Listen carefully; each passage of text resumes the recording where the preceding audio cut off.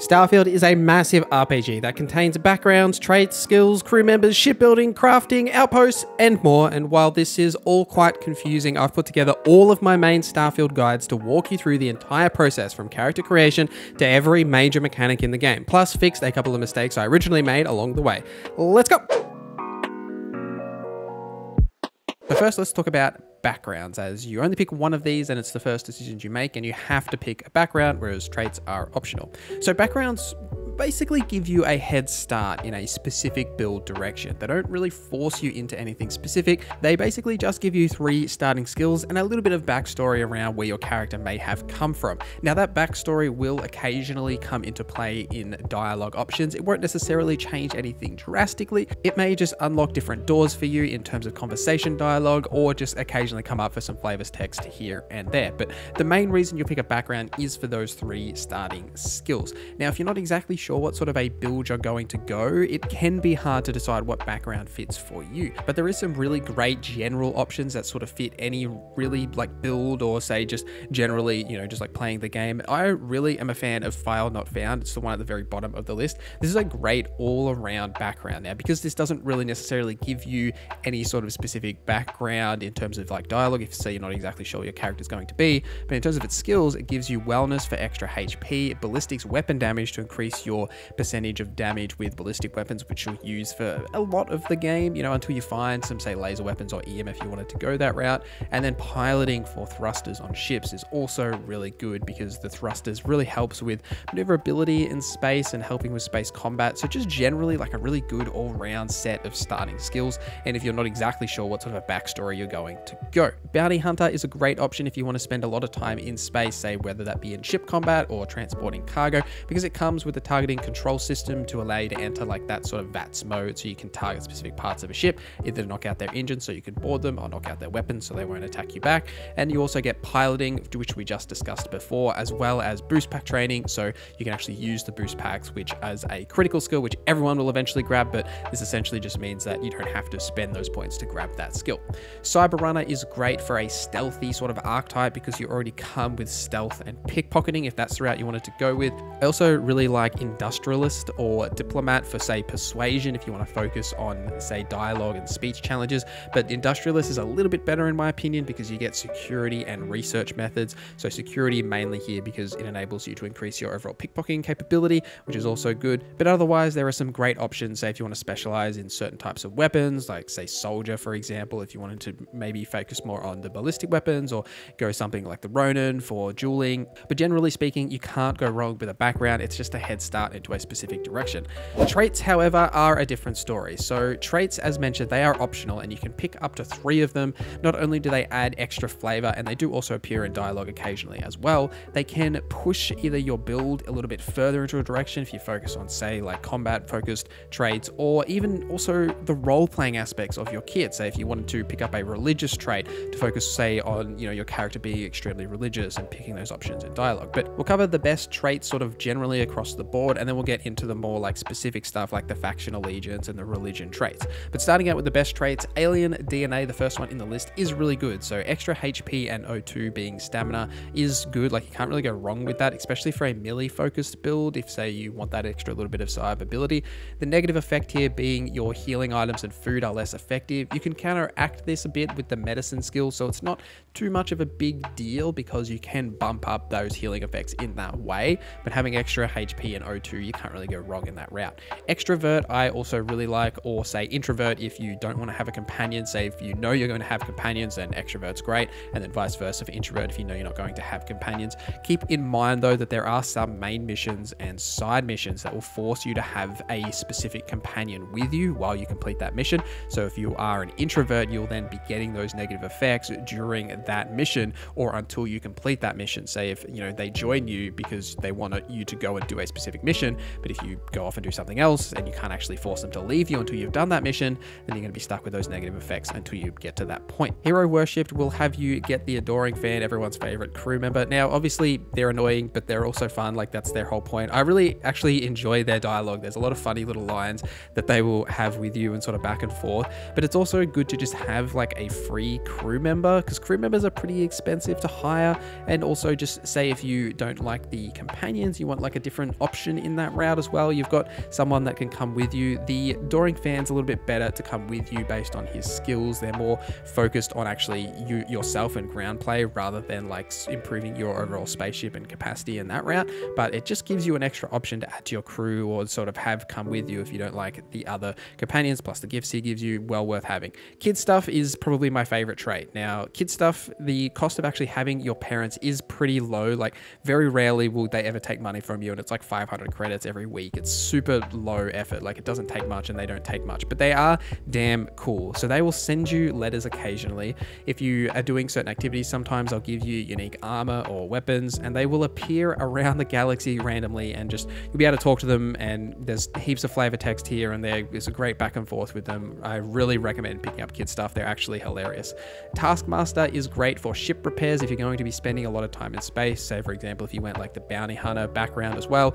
Now this is great because like the hiring cost is obviously more expensive, right, to hire people, but the you can use the persuade option to lower that cost a little bit still, so it's not as bad, but it is only a one-time cost, right? So you're not going to be hiring a lot of crew members all of the time. It's really just like specific moments that say you want to, but you'll always have that effect if you have a crew member that specializes in those parts of the ship, so then you can have those ship parts automatically repair, which is well worth having.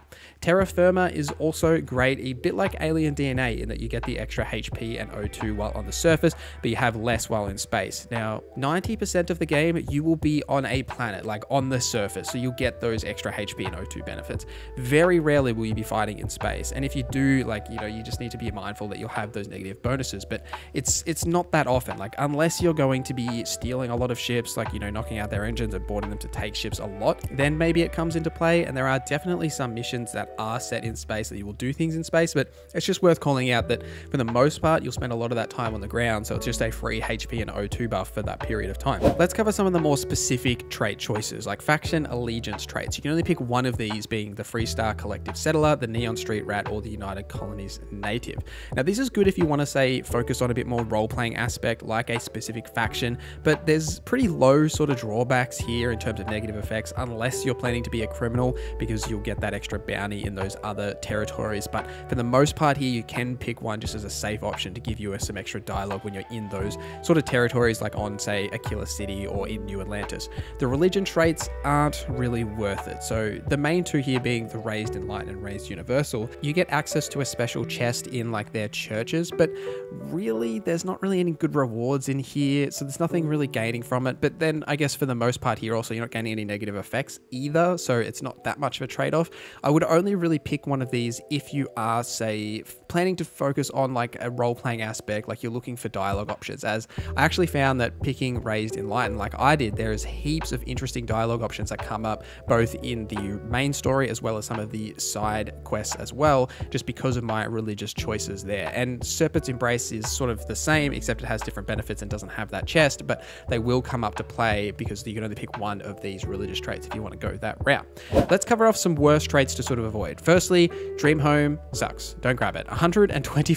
125k credits is a huge debt to have, and you really just like won't ever want to pay that off. Like, why would I give them 125k unless you obviously for role playing purposes? But Galbank are going to steal all your money, so don't do it. Now, if you do pick up this trait and you do go to the Dream Home, it's not a bad house, right? Like, it's pretty cool, but you could just build an outpost for free that doesn't cost you anything. And if you want to use this house without actually paying the 125k, you can just pay 500 credits every week if you want to go there and access it. So you can get it, but it's just worth calling out that you're going to have that quest in your quest log for 125k debt until you actually go and pay that off.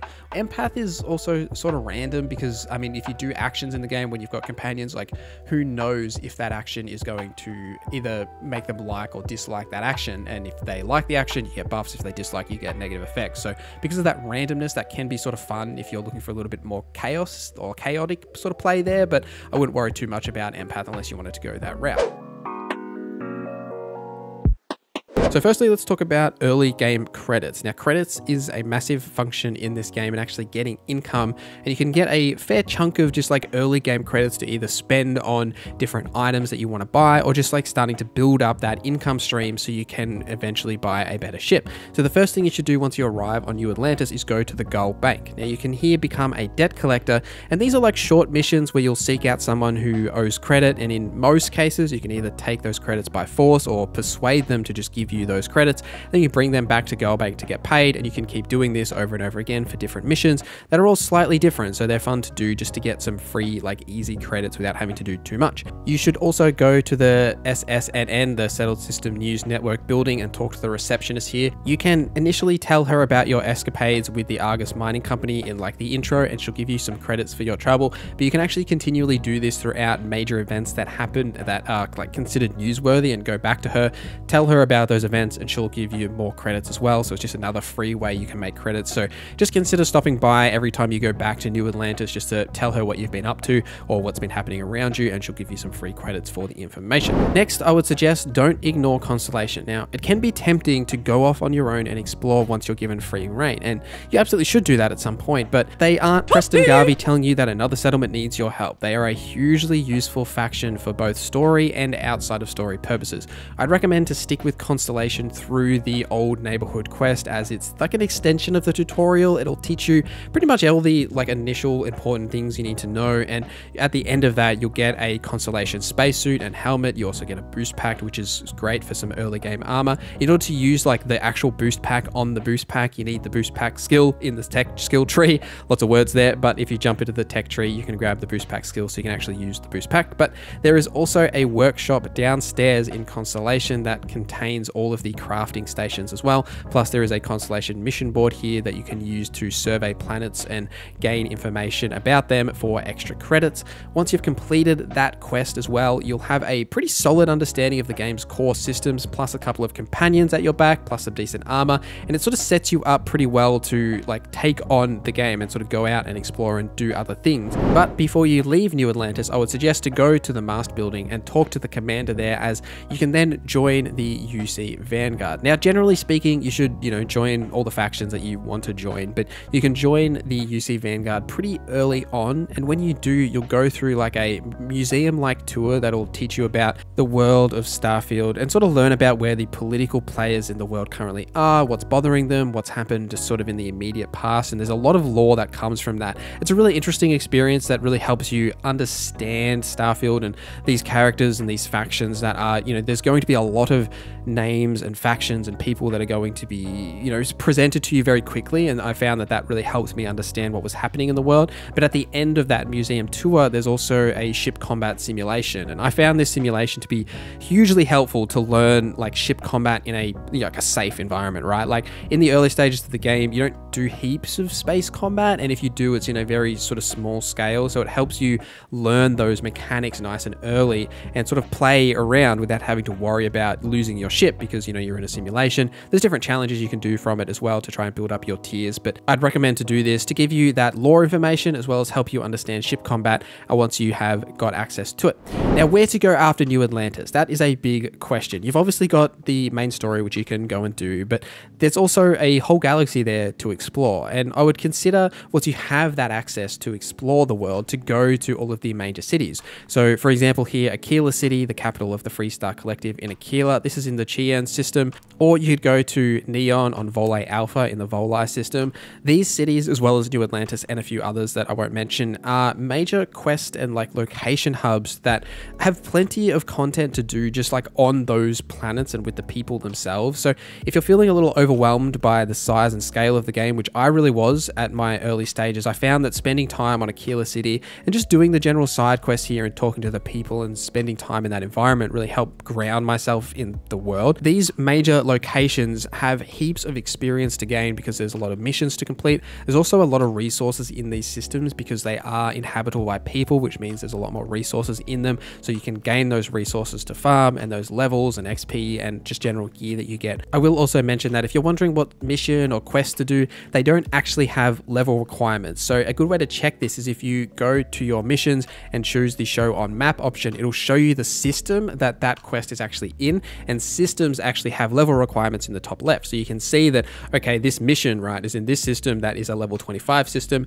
Maybe I'm not ready for that yet. So you can sort of decide what you're doing based on that as it's very easy to stumble on areas that are maybe a little higher level for you. So it's just good indication there. Next, I would recommend to start a resource farm. So resources are a critical part of your success in Starfield. And if you'd like to do any sort of crafting or outpost building, it's really important to start that collection as early as possible. A common hurdle that I ran into during my first 20 hours or so was not having enough resources to either actually just research any new technologies or upgrades at the research lab, but also crafting any mods for my weapons and armor. You can collect resources on planets just by wandering around and simply using your cutter, but a great way to automate this process is with extractors at your outpost. I would suggest to start this process by some of the more commonly used resources when you're scanning planets and trying to find the different resources. A couple that I would really look out for is iron, copper, but especially aluminum. Aluminum is used in practically everything and it's a really hard resource to come by. So in order to start like a resource farm like this, you want to find the resource you're looking for, right? So using aluminum as an example,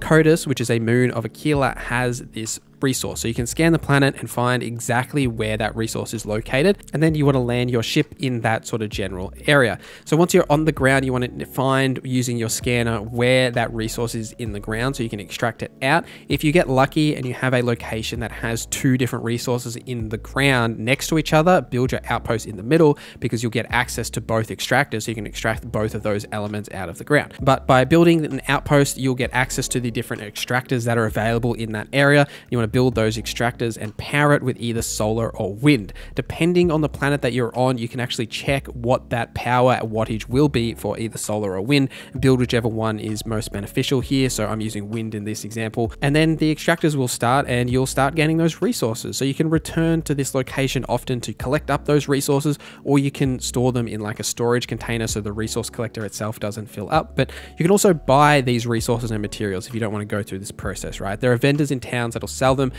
Also, there are mining outposts you'll find on planets, and they actually have vendors that'll sell you raw materials often as well. So if you don't like to go that collection route, it's another option you can go. And the last major thing I will say is to take your time. There is more to see and do on the major planets than you realize. There is a ton of side quests and hidden things to find, characters to talk to, and all sorts of stuff there. Guards will often tell you about potential quests or activities in the major cities, but even outside of the major cities, there is so much to see and do. Like this game is gigantic gigantic. There's so much in terms of its planets and different things that you can find in space. It often feels overwhelming. And if you're in that sort of overwhelming state, which I have definitely felt, I would recommend to just stick to one sort of planet or system, familiarize yourself with those locations and set yourself a goal of say what you're trying to achieve, right? Like faction quests. Say if you, you know, you want to join the Freestar Collective, just focus on those faction quests for a little while to sort of get through that point. It'll help you understand the game's world and how it functions because you can definitely get lost in the stars. So first let's talk about experience points. Now, as with all Bethesda games, every time you take a nap, you will wake up with an XP buff for the next 24 hours. Now, if you have a love interest, you'll get an extra bonus to that amount of XP as well for that next 24 hours. You can also get a small XP buff from drinking alien tea and its different variants as well if you do want to craft those just to give yourself a little bit of extra buff. But really the sleeping is the main one. So just make sure that if you're sleeping every 24 hours, especially if you're running a lot of repeatable missions that give XP, that 15% experience bonus is actually pretty solid. So let's make some credits. Now, the main way that you will make credits sort of throughout the game in a rapid format is from contraband and smuggling. Now, I did cover this extensively in my smuggling guide, so go and watch that full video if you want a complete breakdown of how all of this works and everything you need to know. But at a very high level, you'll find contraband throughout the world as well as on some Crimson Fleet ships and Va'ruun ships, that sort of a thing, and you can trade contraband at any trade authority vendor throughout the world. The downside to that is that you'll typically have to pass a scanner check in order to land on that town or village, settlement, whatever, to actually be able to trade your contraband. The best vendor to actually go to is the Key, which is the Crimson Fleet Capital Star Yard, as here there's no scanning in that system and all the vendors there will accept contraband, so you can go there and pump all of your contraband there for credits, and it's just a really great way to transfer all of that into just straight money. And while you're there, you can actually run smuggling missions and smuggle contraband into the actual settled systems via the Crimson Fleet mission board. Speaking of those mission boards, in general, they are the best way to consistently make credits as well as experience regularly because it's a consistent way of enemies to fight to gain experience and loot to gain, as well as you can find contraband and also just gain credits from completing the missions. So the first is Constellation. Now, they have a mission board downstairs at the lodge. These are mostly surveying missions and they seem to generally generally give you a higher amount of credits, especially the trait, like the planet trait ones. And it's mostly because they take a really long time to do, especially the planet trait ones, because you've got to scan an entire system looking for a specific trait on a planet. Now, there are ways to make this quicker, and even in some cases where you just have to like fully scan a planet, right? Like if there's lots of flora and fauna, it, it does take a while to actually scan everything. So that's typically why you get more credits. But if you're looking for a bit more of like a chill sort of zen vibe to grinding out those credits and experience, that sort of thing, because you do get solid experience from actually surveying a whole planet as well. So it is worth doing. And you can sort of do them regardless of your alignment with any of the factions as well. The Trade Authority mission boards are another one. Now you'll find these on their star yards or just like generally around. Like I'm pretty sure there's one at the hitching post in Akila, but these are short cargo transfer missions or passenger transfer missions, that sort of a thing that are pretty simple to do. It's typically like a lower payout, but easy runs. Just like take the cargo or the passengers and drop them into a different system, land them there, give that passenger or cargo over, and you'll get some credits for doing so. The Freestar Collective also have a mission board found in the Rock and Akila City. Now, for the most part, this is like protecting Freestar Collective systems from pirates and other threats like spaces, that sort of thing. If you're playing like a prototypical like good guy, this is definitely the best way to farm enemies and loot and XP. So an example being here, right, you can take a mission to take out a Crimson Fleet ship and you knock out their engines, you can board it, you can kill all the dudes on board and then grab all the loot from the cargo hold, the captain's locker and the bodies,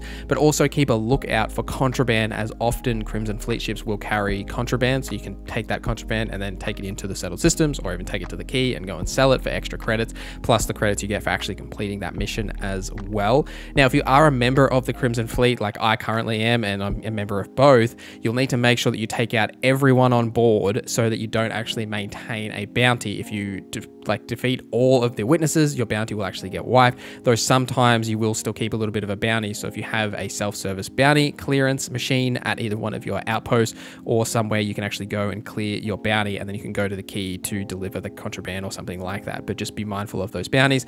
Now, the United Colonies don't really have a mission board in that way, but Commander Tuala can actually give you some of these sort of like mission style things like in the United Colonies space. By talking to him, you can run Vanguard missions or help with the Terramorph problem, and it sort of operates very similarly to like the Freestar Collective missions. It's just they are a little bit different in that way. Now, the Crimson Fleet, which we touched on a little bit earlier, also have their own mission board, and this is definitely the space pirate mission board. So this is smuggling goods and committing acts of piracy on you know different spaceships, as well as stealing from merchants, all that sort of fun stuff. You get a plenty of credits from doing these. It's just you know maybe not the most legal method to gain credits, but you can definitely have a lot of fun by doing this if you're playing that sort of a space pirate role, and if you want to get credits in that way without having to join, say, the Freestar Collective or the United Colonies, you've actually got that other option there as well. I'll also mention as well that you can check the mission section on the help menu for all of the different available types of like mission types on the mission boards.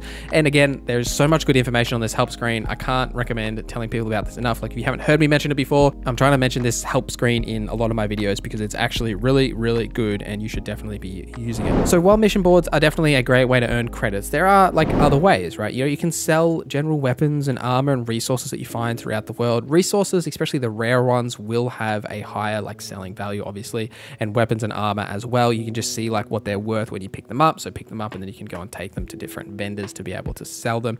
Selling stolen ships isn't really a great option because you don't make heaps from it. It's obviously fun to steal ships, but because you have to register the ship before you actually sell it, you're only really getting like anywhere from like 2,000 to 5,000 credits. And for the amount of effort you go through to go through that entire process, it's not really worth it, but you can if that if you like. I personally am a big fan of the survey data with Vladimir. So anytime you completely survey a planet or a system or anything, you'll get like a survey data like slate that you can take to Vladimir and actually sell for survey data. Now he doesn't have heaps of credits, like he runs out of credits very quickly, but if you're doing a lot of constellation missions or just exploring a lot, some of these planets take like no time at all to actually just survey. Like in especially for gas giants, right? Gas giants, you literally just have to scan them and you get the slate, which is like a thousand credits, and you just need to take it to Vladimir. So for these sort of things, go and scan these planets and systems, and then any time that you say you've got a bunch of them, you can just go to Vladimir and sell them all, and you'll be able to get a fair bit from back from that. While you're at the lodge as well, you can sell different things to Noel. If you want to sell like aid items, then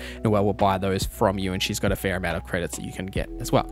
One of the best things to sell that it's the same in all BGS games is ammo. Now, ammo doesn't have any weight, and if you're like me, you just pick up every single piece of ammo that you see throughout the world, regardless of if it's the weapon you're using or not. There's ammo everywhere, and we're just going to pick it all up. So, what you should do with the ammo that you're not actually using is sell it, right? Like, it weighs nothing, and you're going to have thousands of it or hundreds of it, and each one piece of ammo is worth a fair amount of credits, and you can just sell them to vendors and get the rewards from that, right? Like, it's a really easy way to just gain credits, but make sure you check with your weapons to make sure you're not actually selling ammo for weapons that you're actually using, but any of the other ammo types, right? Just go ahead and sell them because you're not going to use those weapons anyway, and it's just free credits. Like, um, I mean, who doesn't like free credits? I like free credits. Do you like free credits? So first, let's talk about planetary hazards and afflictions. So you ever wonder when you're like wandering around on a planet and your compass like randomly starts beeping at you? It's because your suit's like inbuilt protection is failing or it has failed. And once it's failed, you have a chance to gain an affliction. Now there are multiple different types of afflictions from typical injuries, like say if you fall off a cliff and break your leg, you know, something like that. Or if you get diseases from like plants or the different elements or like standing in corrosive puddles, that sort of a thing.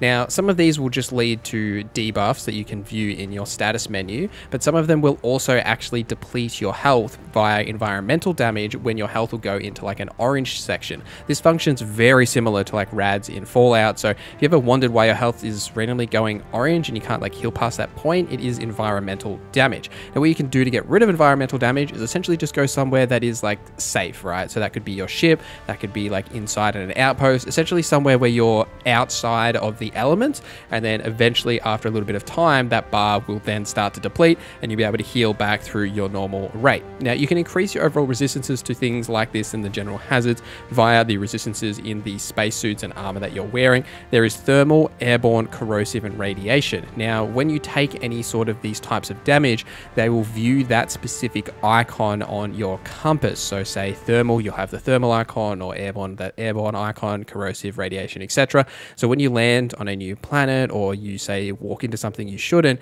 you'll be able to see what type of damage that is because it'll have that same matching icon. So, so an example being, say, if you land on a planet that is like extremely cold, right? Like you might need to increase your thermal resistance. So you might want to put some armor on that is for thermal resistance to sort of protect you and hope that you don't get frostbite, right? So you can actually see and match up those icons in your menus based on that. Now, if you do get afflictions, there is multiple ways you can heal them. One is just by going to a doctor and asking them to heal you and they will heal you, but you can actually carry around aid items that can heal basically all of the different categories. So in your aid menu where you can see your health and it'll actually show the status as well, you'll have various aid items that will match up with those different icon types of the different afflictions that you may have. You essentially just need to consume that item and it will then clear you of that affliction. So because this shows it on the aid screen as well, you don't have to tap back into your status menu, but it's a quick way to sort of see, all right, I've got you know, the red affliction, whatever that red affliction is, and then you can clear it via using one of these aid items. So anytime you go into a town or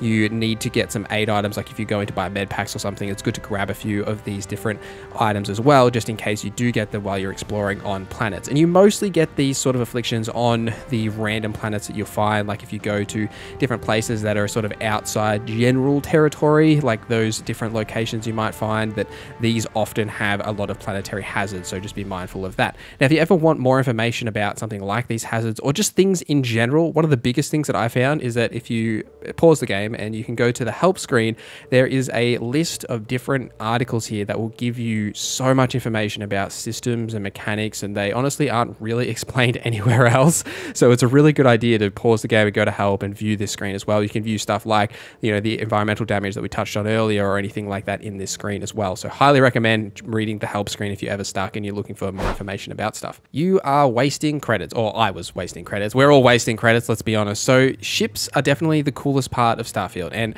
I have wasted a ton of credits just upgrading and modifying the Frontier or like the basic ship you get at the start of the game without really knowing that I was going to ditch that ship pretty quickly as soon as I either had enough credits to buy something that was better or just get a free ship. There are multiple quests that will reward you a ship just for doing it or even stealing a ship. So if you want to steal a ship, you need to use the targeting control system skill or just get lucky by knocking out the ship's engines. Then you can board that ship and kill the crew and then you just pilot that ship, take it back to any sort of spaceport, register it as your own ship, and then you've got that ship for yourself. You can then sell the ship, but you don't make heaps of profit off selling a ship that you've then had to register and then sell. But the main crux that I wanted to talk about here is that in the ship builder, right? Like if you're spending a lot of time trying to like upgrade, you know, the Frontier or like the basic ship, a lot of the really core and best components are actually locked behind the Starship skill, which takes a long while to actually get. Now, you will need the Starship skill plus the piloting skill so you can get those higher class and higher quality ships to be able to use them in like the ship builder.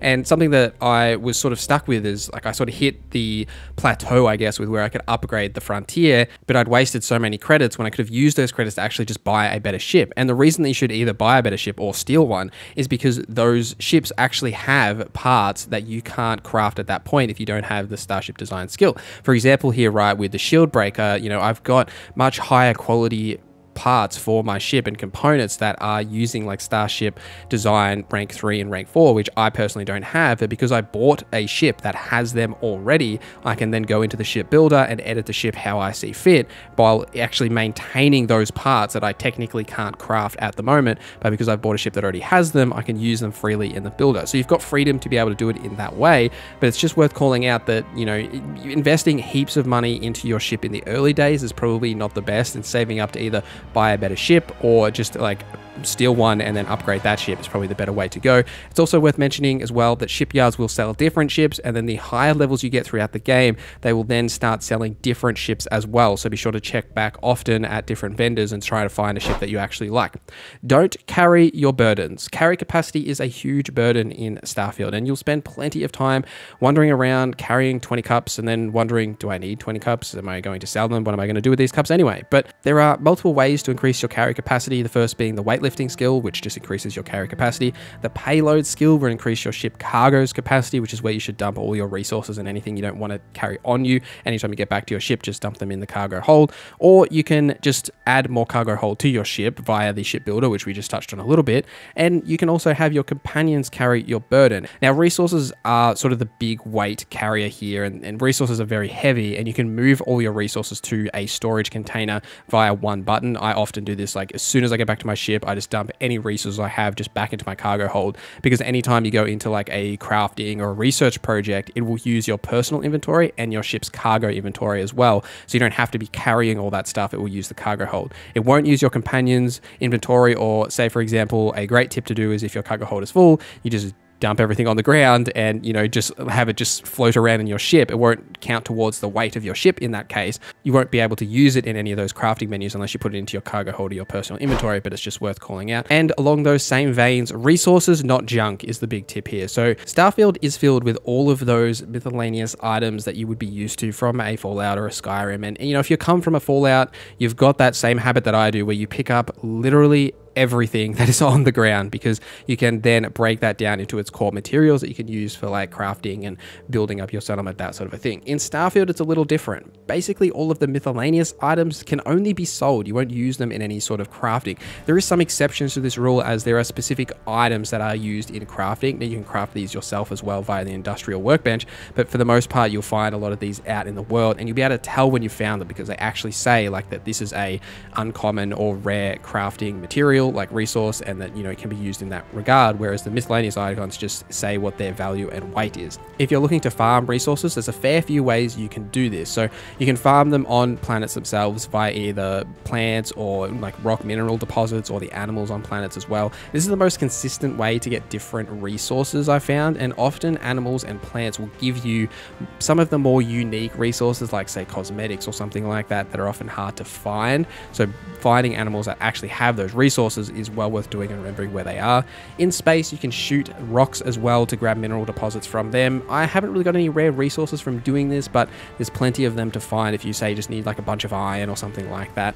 And a really great way to do this as well is via extractors at your outpost. So if you build an outpost on top of the ground where there is a resource in the ground, you'll have the option to build an extractor on top of that, which will then, once powered, give you that specific resource over time as long as it stays powered and doesn't actually fill up. But it's like an unlimited way that you can gain obtain that. So you find a rare resource that's worth a lot of money and you want to sell it, or essentially aluminum is a great one to actually farm because aluminum is used in like everything. So it's a great resource to farm in that way. If you want a bit more of a detailed guide on how to build a like resource farm, my things to do video covers that and I'll link that for you guys here. But but if that's too much effort for you, you can just go to a vendor that sells resources and buy them as well. Like mining outposts always have vendors that sell resources and then the typical traders that you find in towns can get you them as well. It's also worth noting like on this junk and resources that digipicks actually come under the misc category. So if you're like selling all your junk, just don't sell all your digipicks by accident. Next is to do the factions. Now, being such an overwhelming game, it is hard to decide what to spend your time on, and I didn't delve into the factions until well into my playthrough, maybe 30, 40 hours or so, and I kind of regretted it because when you finish those story and quest lines, they give you heaps of rewards. For example, as a Freestar Ranger, you get a really nice armor set as well as a free ship, which is like an amazing ship, and I'll let you discover what happens when you complete the other ones. I don't want to spoil all of the rewards here, but just worth pointing out that they are really valuable rewards and also really great stories. Like there's a lot of really good lore and actually interesting missions in these faction quest lines. So absolutely do them. Now you can do all four factions on the one character if you like, obviously depending on your roleplay decisions, but they are absolutely well worth doing. And a bonus mistake. I'll give you this one for the road as well because everyone I've talked to seems to be doing this one thing. Now, do the main story. I know it sounds stupid. Either like you're like, oh, why would I do a main story in a BGS game? Or you're like, of course I'll do the main story. It's a video game. You always do the main story. But like, regardless of what camp you're in, you should be doing the main story because there are multiple things that are directly locked behind your main story progress. Certain parts of the game, even random encounters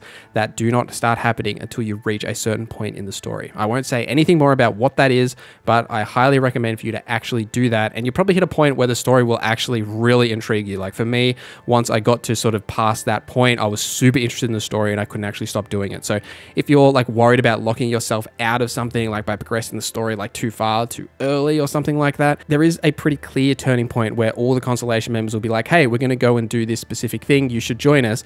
And when they say that, I'm obviously being super vague for spoilers here, but when they say that, you sort of know that that is a clear turning point. So uh, once you hit that point, then you're fine to go off and just do whatever you like, unless you want to continue progressing the main story. But it's just worth pointing out that you really should do the main story.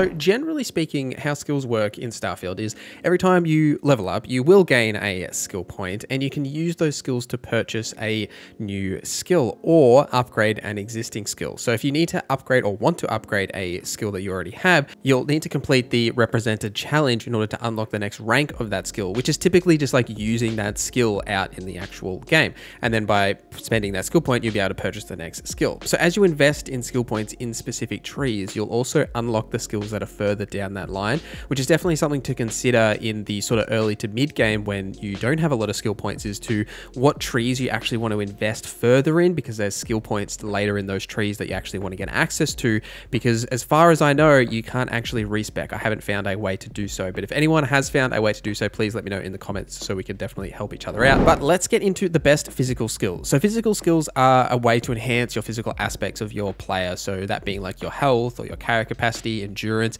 and also your melee combat. A couple of really critical ones that you need to grab here, regardless of your sort of your build, which is what we're going to focus on for the most part in this video, by the way, is just like general skills across the board that everyone should get. But the first being weightlifting, which increases your carry capacity. This is obviously important in all of the Bethesda games because there's a ton of things that you're going to pick up. But in this game, resources are the main sort of crux of things you will pick up, and they are extremely heavy, and you will be carrying a lot of them and putting them in your cargo hold as well. And you know, you've also got weapons and spacesuits and all that stuff as well. So carry capacity, definitely consider grabbing. I would also grab wellness here to increase your overall max HP. I don't think we need to say much more on that. It's pretty self-explanatory why you need more HP. Fitness will increase your O2 capacity, which is essentially like your stamina bar. So when your O2 runs out, you'll then go into the CO2 bar, but the increasing your overall O2 capacity just means you can sort of run further, which you'll definitely do at a lot of planets because there are a lot of times when, you know, you're sort of running between different locations just while you're exploring on planets. I hold down the sprint button like all the time, so it's definitely helpful.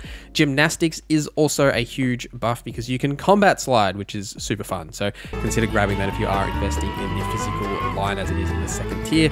And also if you are going to be doing a bit of stealth, the stealth skill you definitely should grab as this enables the stealth meter. You won't have it without it. You can stealth without the stealth skill, but you just won't be able to see exactly, you know, how stealthy you actually are. And it will obviously give you buffs to stealth as well. Social skills lean into adding dialogue options or NPC interactions, as well as your crew and companions and a couple of outpost skills if you're considering investing in this tree.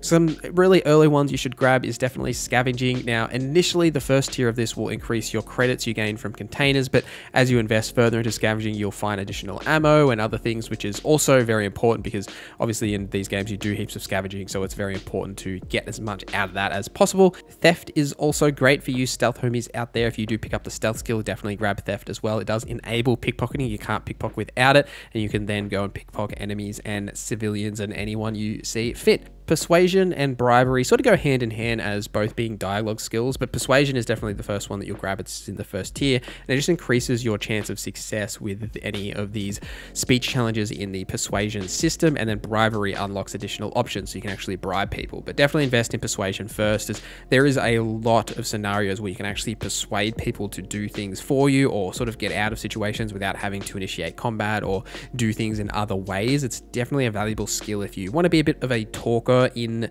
Starfield, it's definitely an option to consider for those reasons. And regardless of your build, commerce is a great skill because you can then buy items for less and sell items for more, which is great because you will definitely be selling a lot of items in Starfield as you come across heaps of different things that you can sell to make income because you will want a lot of credits in Starfield, not only to buy certain resources that maybe you need for upgrading, but also to buy ships and ship upgrades. It's definitely where I've spent most of my money. Moving on to combat skills. Now, generally speaking, in the combat tree here, like everything is all about weapon enhancement skills. And I would sort of focus on whatever weapon category you personally connect with, whether that be, you know, shotguns, rifles, or pistols. And then once you've sort of picked a category of weapons that fit that that you like, then I would invest into a weapon type. So that being like ballistic weapons or lasers or particle beams, whatever that specific weapon type is, is what you sort of want to focus on. So that's represented when you're looking at the weapons by, say, whether the weapon damage type is physical for like like ballistic or energy for lasers, so you can be able to see it there, but they can sort of be multiple things just depending on the weapon type you have, right? You can have a rifle that is getting benefits from it being a ballistic weapon, but it's also getting benefits from the rifle certification and then other ways as well. So consider grabbing skills really just that benefit whatever combat style you prefer. And obviously, if you're playing as a melee character, you probably want to invest in those combat skills that are actually in the physical line. Moving on to science. Now, this is everything to do with, say, researching and crafting, as well as planet exploration and like survey skills. And the first skill you really should pick up is surveying. Now, this not only adds a zoom to your scanner, it also increases the distance at which you can actually scan things when you're out exploring on planets. This is a pretty big buff because initially without this skill, you have to get so close to things just to be able to scan them, which is a little tricky for hostile creatures. So being able to scan them from a distance, as well as not having to run right up to something's face just to be able to scan it is just a little bit helpful. And I've also used the zoom function a bit while exploring on planets to see things in the distance. Medicine is critical for the exact same reason that wellness is. Medicine will increase the amount of additional health that you get back from like med packs and trauma kits, that sort of a thing. So definitely invest in medicine. And then a couple of other skills that you could consider, something like geology, botany, and zoology. These will increase the amount of resource gain you gain from their specific type, right? So geology being inorganic objects, so minerals and that sort of thing that you find from planets, and botany is for the organic objects, so plants, and then zoology is for creatures, so the resources you gain from them. So if you're looking really to become a bit of a resource farmer, then invest in those three skills. But otherwise, I would consider getting into that second tree of the science skill to grab weapon engineering and spacesuit engineering, which you absolutely need if you want to research higher level modifications at the research lab for different weapons and spacesuit upgrades, because you will actually need them and they are tangible increases exactly the same as they were in, say, Fallout 4 in the mod system in improving your overall, say, damage or capabilities with a weapon, or even just adding different functions to your spacesuit, which becomes more important because of the boost pack as well, which we're going to talk about in a little bit, but the different types of boost packs that you can mod on to your backpack, which you definitely will want to do if you do find one that you prefer to actually use. And moving on to those tech skills. Now, this is where you get boost pack as well as a lot of ship focused skills, a lot of ship building and ship combat, that sort of a general focus. But the boost pack training skill, everyone should grab. So this enables you to actually use boost packs, which is like a must have skill really. So you can not only get around a little bit easier in the world, especially on planets that don't have gravity or have lots of gravity, you can be able to move around. And once you've upgraded this, you can kind of stay in the air for a long period of time. You don't have to touch the ground a lot, which is just generally fun. Targeting control system is great to unlock the target lock when you're fighting in ship combat. It's a little bit like VATS, but for ships, and you can target specific parts of the ship. If you target the engines, you can knock out the engine to board the ship and take it over, or say if you knock out their weapons, you can stop them from firing back. It's very helpful in those encounters. Piloting is also helpful for ship combat, but also just the general like maneuverability of the ship for thrusters. So thrusters gives you more minute control over your ship. It's really good to do like quick 180s, so you don't have to do the whole slog of just like waiting for the reticle to turn around. It makes that process a little bit quicker. And the further tiers in piloting allow you to pilot higher tier ships, which you absolutely will want to do so you can improve your ship, but also, you know, if you are going to invest in some piracy, you can steal other ships from people that are of a higher class. And security is an absolute must as well, which will improve your digi picking ability. So that's essentially just like the lock picking in this game. And the more points you invest in that, you'll then eventually be able to unlock master locks so you can sneak your way into higher quality loot from that, or just be able to sneak your way into different locations or different outcomes in ways. Like I've even found that with master locks, I've not only been able to unlock areas that can give me better loot, but also certain like quests objectives. I'm being very vague here, but like able to change things like say turning off turrets or turning off different puzzles that maybe I wouldn't be able to do without the master lock. It's been actually really valuable to have. I've just updated my membership program here on YouTube to include early access to practically every video. So if you like these sort of builds or any of the other content that I do on the channel, consider joining the membership. Costs you literally $1. You get early access to basically every video plus access to the members only Discord, a bunch of other benefits as well. So if you like what I do here, please consider checking that out. But enough of that, onto the video. So first, generally speaking, as a bit of an overview, there is a crew roster screen that you will be able to view by bringing up your menu and going to the ship screen and then adding your crew. From this screen, you can see your ship as well as any outposts that you have that can actually contain crew and you can see a list of your crew members and companions and be able to either assign them to certain outposts or your ship or unassign them to have them return to their original location if you don't actually need them anymore. If you have unassigned or aren't using companions or crew members and you want them to say, you know, come to your ship because you left something on them, you can just assign them to your ship and then fast travel to another location and they will actually just appear there. You won't invest too heavily into this overall system until a bit later in the game because of the cost of actually hiring crew, as well as some skills required to have a lot of crew members and the higher spaceships and everything. But it's worth calling out the differences here, as well as talking about the difference between crew members and companions. So crew members are typically unnamed people who are simply there to carrier burdens or to give you specific skill buffs to ships or outposts or assistance when fighting in the world. Companions are very much more fleshed out characters. They typically also have more skills, so all the main companions have four skills, and they will interact with you as well as interject into dialogue sequences that you may be having, and they'll like and also dislike some of your actions depending on what you do, as well as romanceable. Now, all the core companions come from Constellation, those being Sarah Morgan, Sam Coe, Barrett, and Andreja. Now, these will all join you throughout like the main story. So as long as you're just like progressing the main story here, they will actually just join you once you've sort of done their intro mission, or they'll ask to join you. You don't have to accept. Just worth calling out that if you're looking for them, just progress the main story and you'll eventually run into them. Now, they are not the only named like crew members slash companions that you find as well. So when you're out in the world, if you're looking for more crew members and you want people to join your crew or your outpost, typically at bars in any of the major towns, you'll be be able to find them.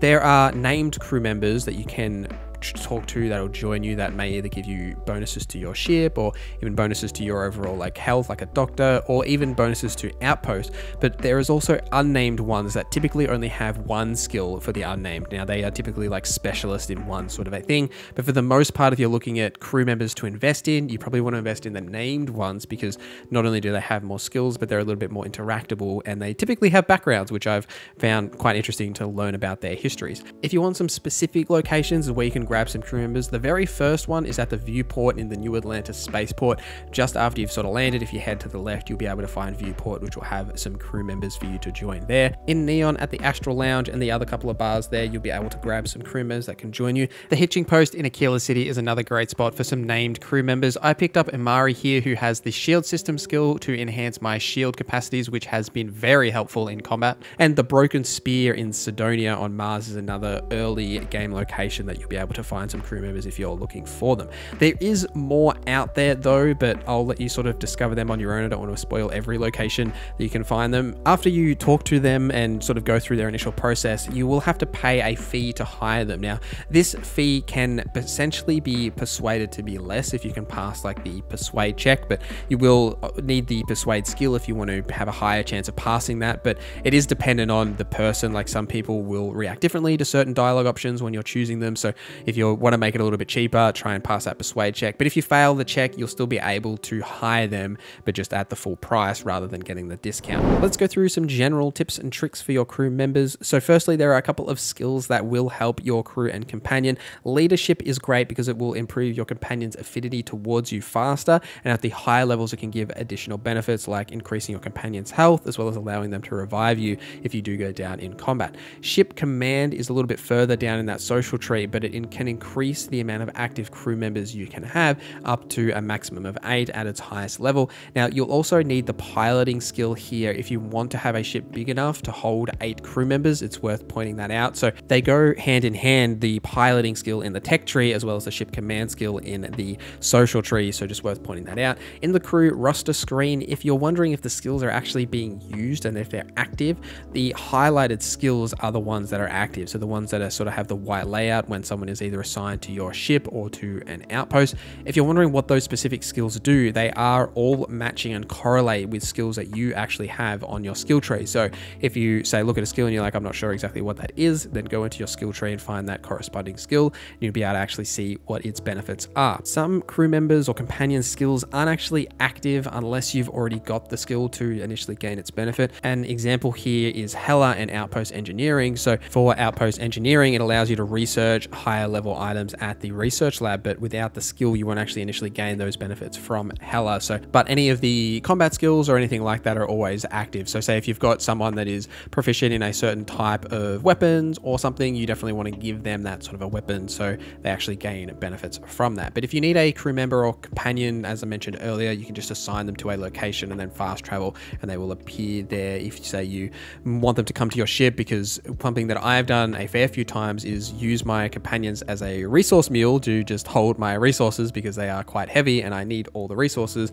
And then I forget that I did that and assign them to, say, an outpost or just send them back to the lodge and then wonder where my resources went. So it's a good thing to be able to assign them back so you can get those resources. But it's also worth pointing out that anything that's in your companion's inventory doesn't actually count when you're doing any sort of crafting or researching, whether that be on your ship or anywhere. So those items that are held by the crew members and companions won't show up when you're in any of the crafting station menus or in the research lab. You actually either need to hold those items in your inventory or in your ship's cargo hold. Both of those will show up in those menus. So it's a good thing to put things on your companions and then once you get back to your ship to take them off and then put them in your cargo hold if you've got the space or find somewhere else to put them. But by putting items in their inventory as well, whether that be weapons or spacesuits, armor, that sort of a thing, you can actually have them equip them, which is good if you want certain companions to use a certain type of weapons because they're in those weapons, or you just want them to use a better weapon than just like the default options that they have or have better armor than they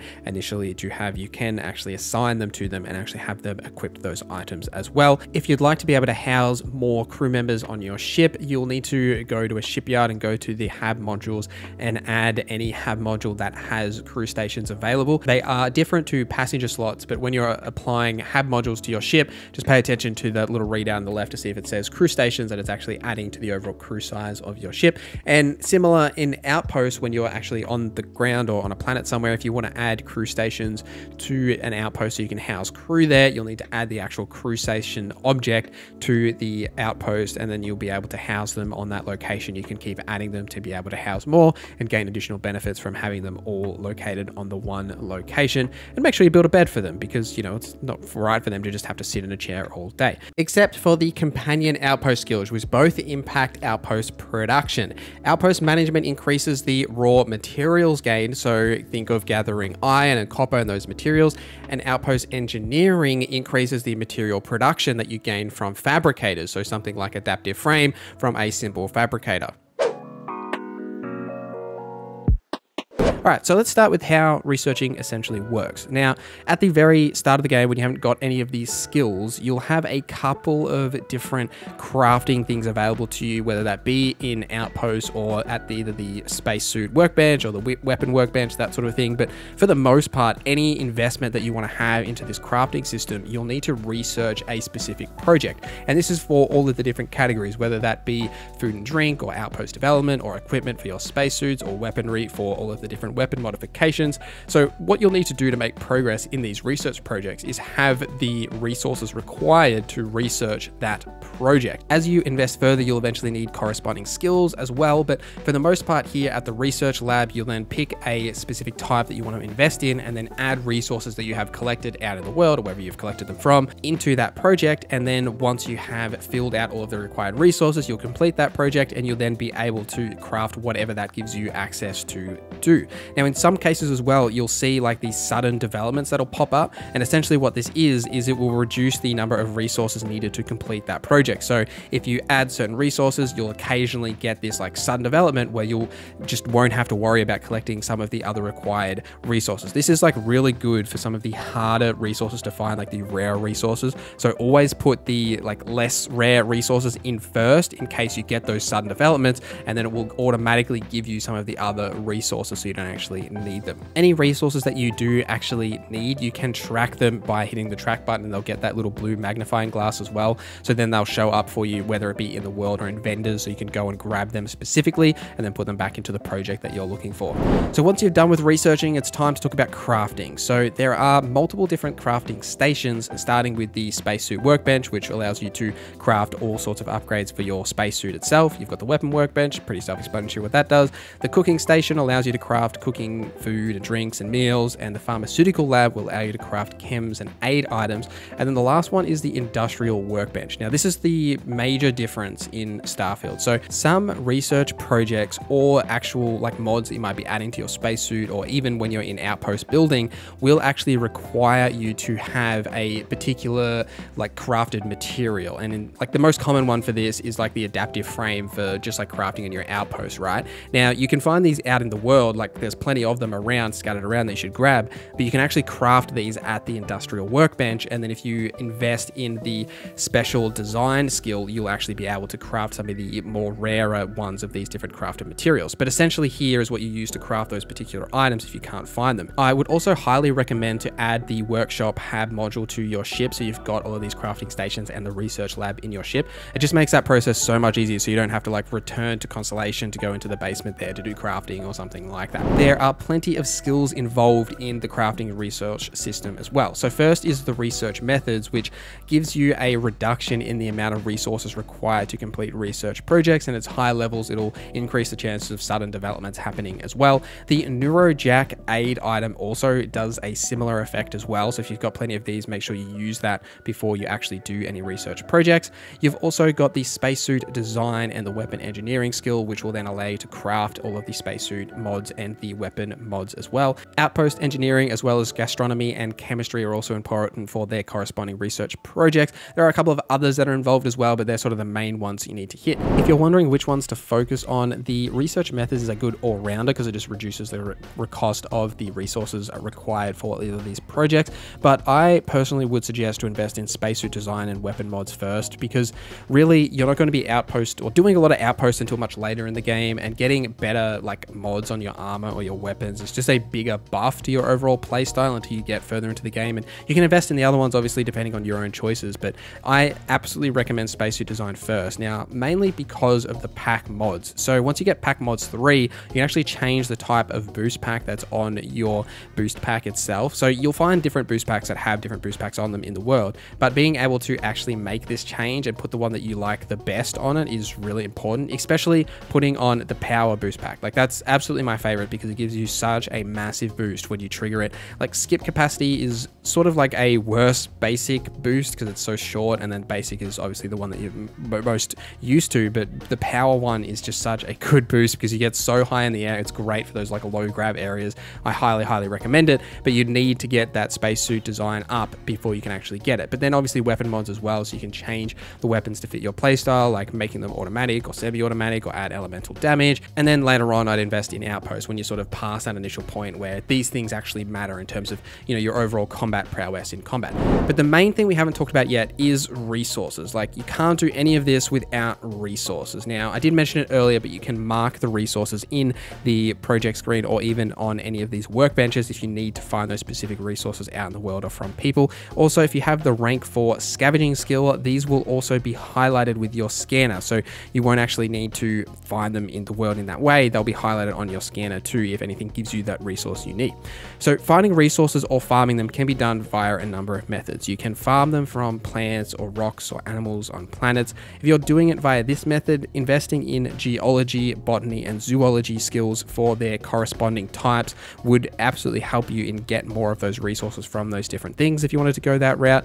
But basically every resource can be farmed on a planet. So most common animals and plants will just give you like typical things like fiber or nutrients or something, but you can definitely find them that give you some of the more uncommon or rare resources like say cosmetics that you need for like spacesuit upgrades for like all of your spacesuit upgrades. So you can find them. It's just they are few and far between like finding those animals and plants that give you those rare resources. So when you do, you want to make note of that and what planet that is if you want to return there to actually get those resources. You can also shoot rocks in space to destroy the rock and then it'll give you a mineral deposit that you can then collect the resources. That'll go straight into your cargo hold as well. So it just saves you that process of having to put things into your cargo hold. So use the weapon systems like your ballistic weapons are often best to destroy them. A really great thing to do is to build extractors on planets. So a common example that I've used before is aluminum because it's such a great resource. Like everything uses aluminum. So I have a outpost that is an extractor for aluminum on Codus, the moon of Akila, which I return to often when I just need to grab some aluminum because you can essentially just go here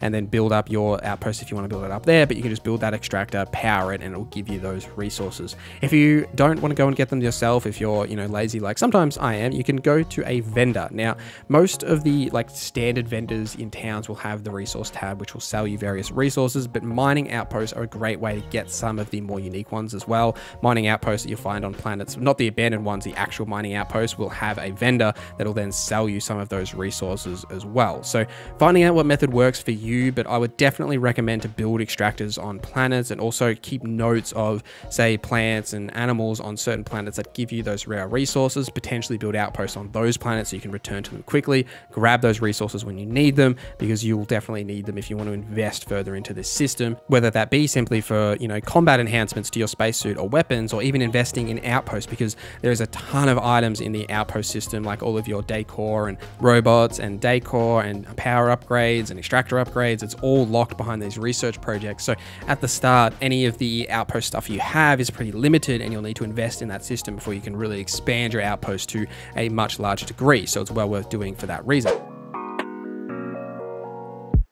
start with some basics and some ship overview and upgrading, and then we'll get into the real crux of this video. So the firstly, the main thing you need to think about is the ship manufacturers, being the ship engineer people that you meet at most of the various settlements as well as some of the star yards. Now, certain engineers will have different modules available to you. Like for example, if you go to say the Stroud and Eklund star yard, they will sell the best Stroud and Eklund modules for your ships, but they won't sell say the HopeTech upgrades because they're a direct competitor, right? So on top of that, there are also places like say the Red Mile and the Key that will sell you like illegal parts for your ship being like the shielded capacity cargo holds and signal jammers so that you can pass the contraband scans. I have a video that fully breaks down contraband and smuggling so I'll link that here if you want to go and watch that after this video.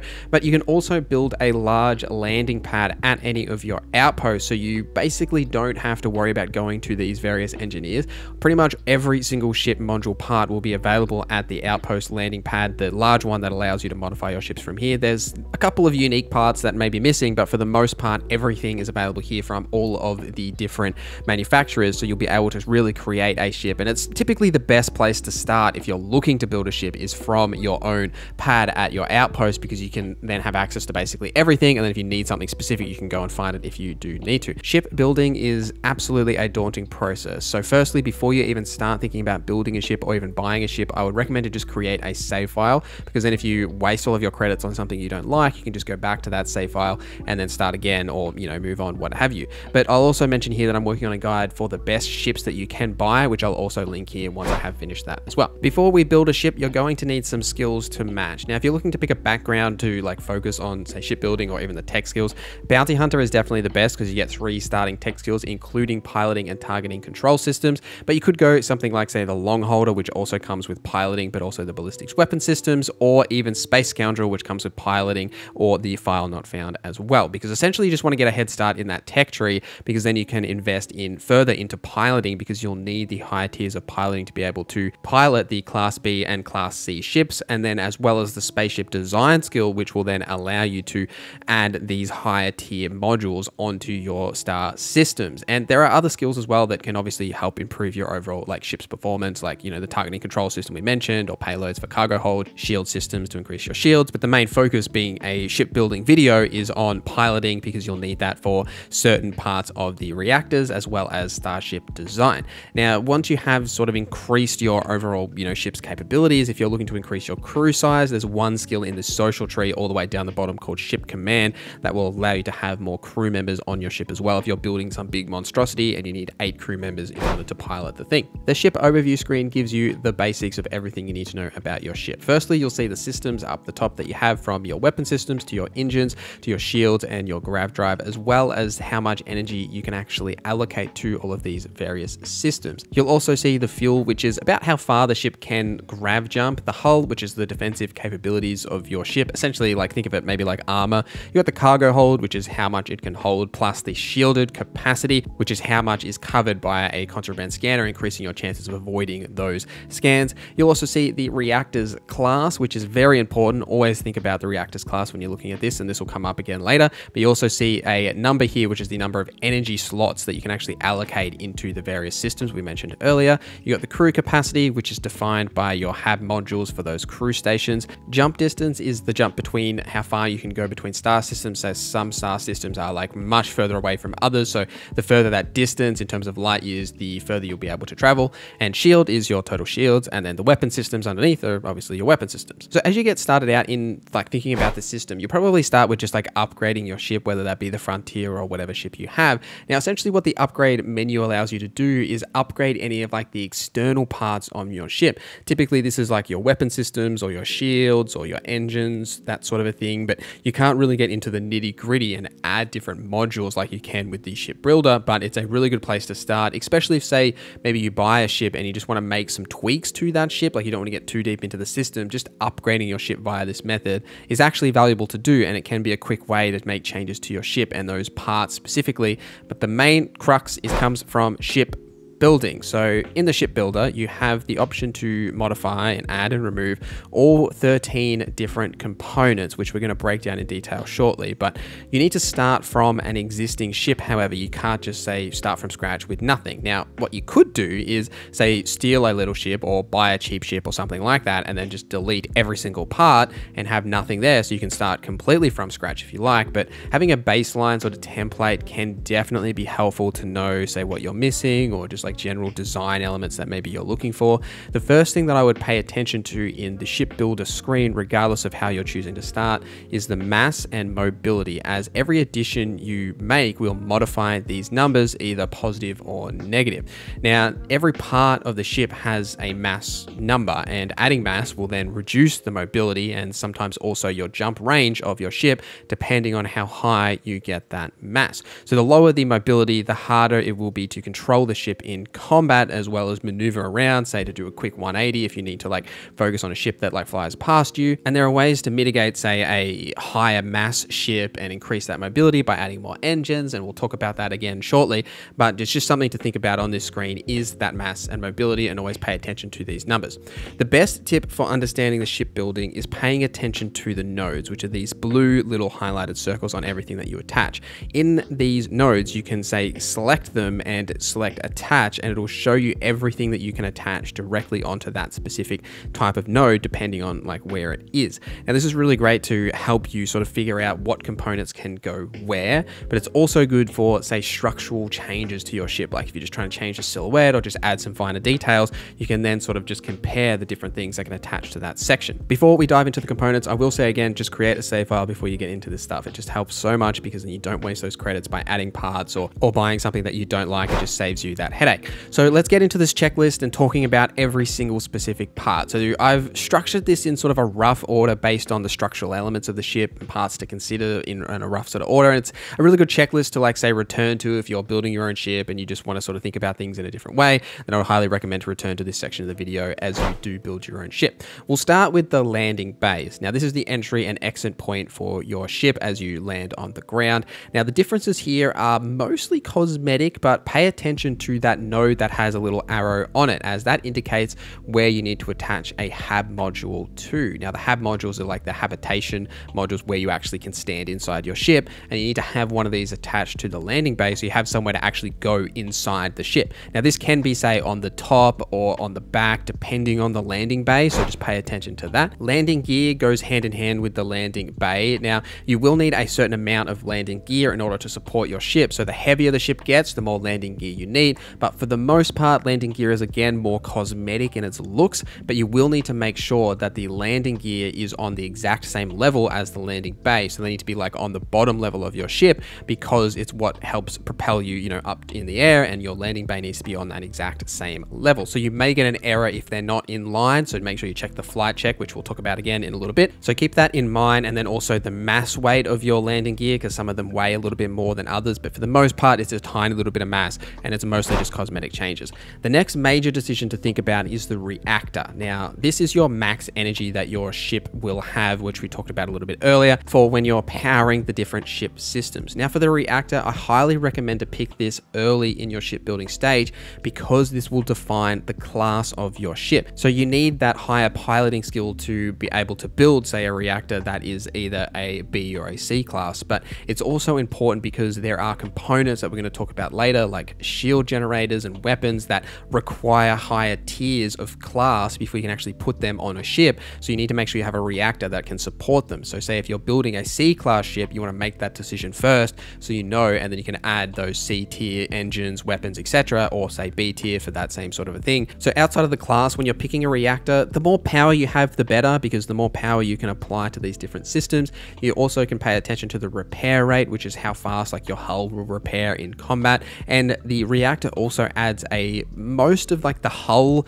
protection for your ship as well. So pay attention to that number. So the, obviously the higher hull the better defenses. But the main decision I would make with your reactor is your class. So define that and then you can think about say the repair rate versus the hull and the power etc as sort of your secondary tiers.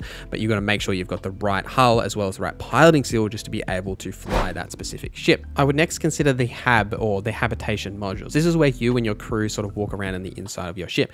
This is what I would consider next because it defines like the inside skeleton of your ship as it's where you walk around but it will also determine the general sort of look and feel of your ship depending on how many habitation modules you're going for and what you're sort of focusing on here. Now these are a massive part of the ship and there's so much to think about here. So this is one of those categories that some of the specialty star yards have additional options for like say the brig or mess hall or something like that. But the main thing as well is when you're scanning through these sizes especially the 2 by one which is the main size that you should be adding to your ship there are different variants that add different things. Like for example the captain's quarters doesn't really add a workbench or you know crew capacity or passenger slots. It will add a navigation console and a bed. Whereas a workshop adds like the industrial and the spacesuit and the weapon workbenches for you to use like the living quarters which will add passenger slots or the control station which will add say crew stations as well. So it depends on what you're sort of going for in your ship. The different manufacturers will have slightly different interiors as well. So maybe pick ones that are specific to say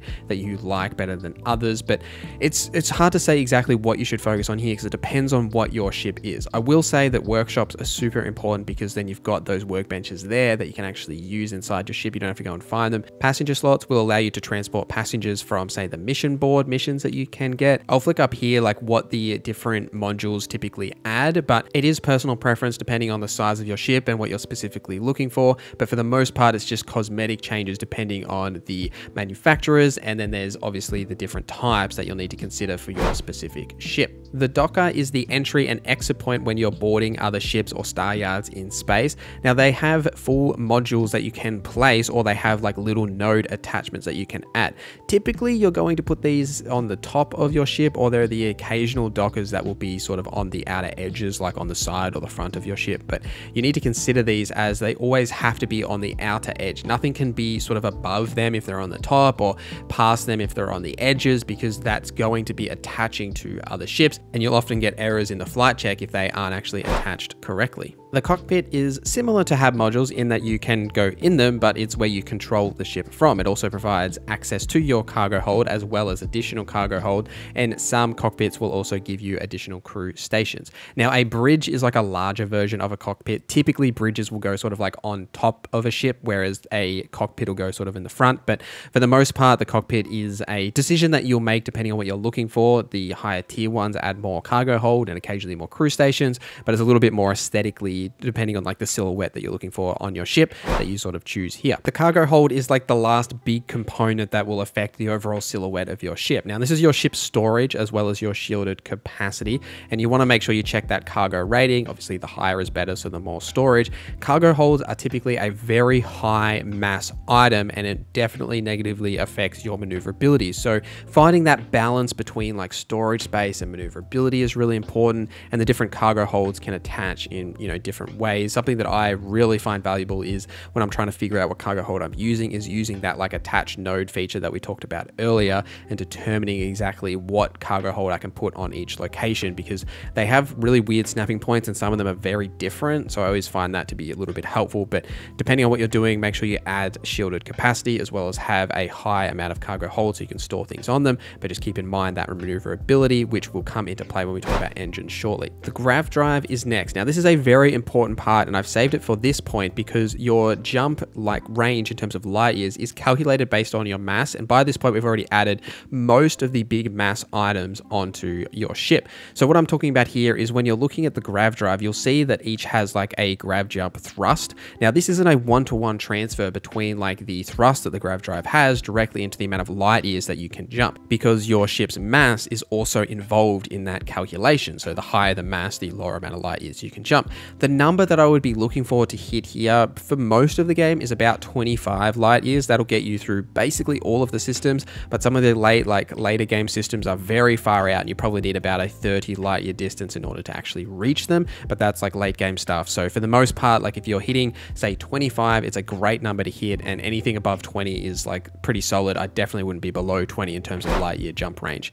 Engines is next. Now this is your general maneuverability. So we've added all of our cargo and mass to the ship. Now this defines your maneuverability as well as your top speed. Now you can add like a ton of engines as much as you like really and engines have a lot of stats on them but the main ones to take note of is the class. Now that needs to match your reactor class which we talked about earlier plus the max power. Now because in each of these slots you can only have 12 actual power allocated to one specific slot you need to keep that in mind when you're adding engines if your total power is above 12 you're not getting actually any return from that as you can only make it 12.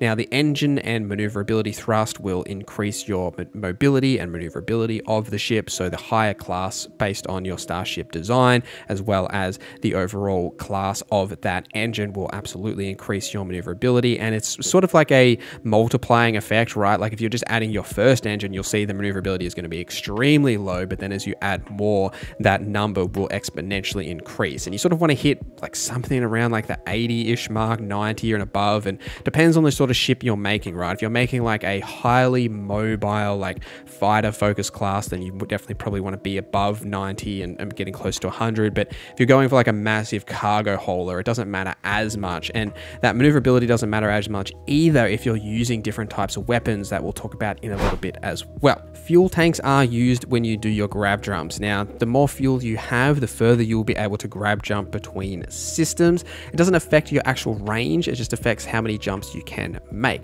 For the most part, fuel tanks are pretty like inconsequential, but having a high amount of fuel will help you just be able to fast travel a little bit better, but you won't notice that much of a difference if you've got a decent grav drive. It's just something to sort of add to your ship. Your shield generator is important though. This is your shield capacity. Now you need to match the class with your reactor, so make sure you're not putting on a class of shield that's higher than your reactor. The shield max health is pretty self-explanatory what that does, but it's worth pointing out that you'll only hit your shield's max health if you have fully powered that part of your ship, and the regen rate affects how fast it will regen, and the max power is how much of that max power it takes to hit that maximum health. The Vanguard shield generator is actually amazing, and you get this just by joining the UC Vanguard. Like, it's one of the best shield generators in the game, and it's a super low class and very easy to get, so absolutely use this if you do join the UC Vanguard. Just wanted to call that out as it's such a great upgrade. The weapon systems are just as important as your shield, so you can have three weapon systems on your ship. Now, they're assigned in the flight check screen, but we'll worry about that later.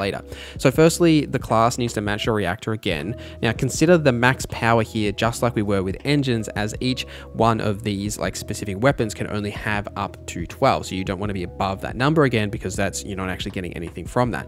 In the early game, when you've got a weaker reactor, say you're still only in like A class or something like that, I would specialize in two weapon systems because you can't really allocate full power across three different systems when your reactor doesn't have enough energy available. So specialize in two weapon systems, maximize those who get the most output in terms of combat by pump as much energy into those two systems as the higher the max power you allocate, the faster they will actually regen. So you can obviously shoot more and it's better to have those two on like max power than so be spread like too thin across multiple systems. When picking weapon systems, there's a few things to consider. Firstly, it's what type of weapon they are. Now, typically they will say like, a, you know, a laser weapon's obviously a laser weapon or what have you, but you can only have three different types, whether that be ballistic, like a cannon or missile for missile, particle for particle, etc. There's also some weapons that will do electromagnetic damage, which will just essentially disable parts of the ship. And if you're looking to be sort of a space pirate type, having an electromagnetic weapon on your ship is hugely important, especially when combined with the targeting control system to take out that ship in a very effective manner without actually destroying or damaging the ship too much. Some weapon systems will say turret as well, which means they fire automatically when you're in range. These are great on large ships like massive cargo holds with low mobility because then you don't have to orientate yourself to actually have the target in your reticule. The turrets will do that for you and shoot them as long as you're within your range and sort of roughly facing them. Now, once you've decided what you're going for in terms of your weapons, make sure you go into the flight check and then assign the ship's weapons to each of these specific three slots so you can then actually use them in combat.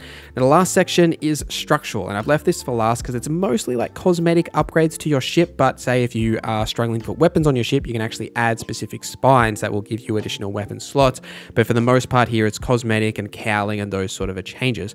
Consider here the mass that it is adding to your ship as that's the main focus for these. Something that I love adding to my ship on any sections is the portholes. So you can actually like look through these when you're in space. I just find them like super cool. So any like spare spot or node that I have available, I just like put on a porthole because it just looks cool. And using that like G attach method that we talked about earlier for each of the nodes, like hovering over that node and then attach using the attach button to attach will really help you determine like what looks good because it'll just put it in place. You can sort of flick through the options quickly to find exactly what you're looking for. But they're mostly structural changes to your ship that really define the different look. So now we have built this monstrosity of a ship that we have for this tutorial here, but I, I hope your ship looks a little better than mine. So once you've built the ship, you'll then go into the flight check. Now you can check this throughout the process of building the ship to see like what you need to change or edit, that sort of thing. But we've already talked about assigning your weapons in the weapon categories. That's the first thing that you should do. For the turret type weapons, you do need to assign them to a weapon category, but you don't fire them manually because they fire themselves, but you still need to assign them as you need to allocate the power when you're in that ship system.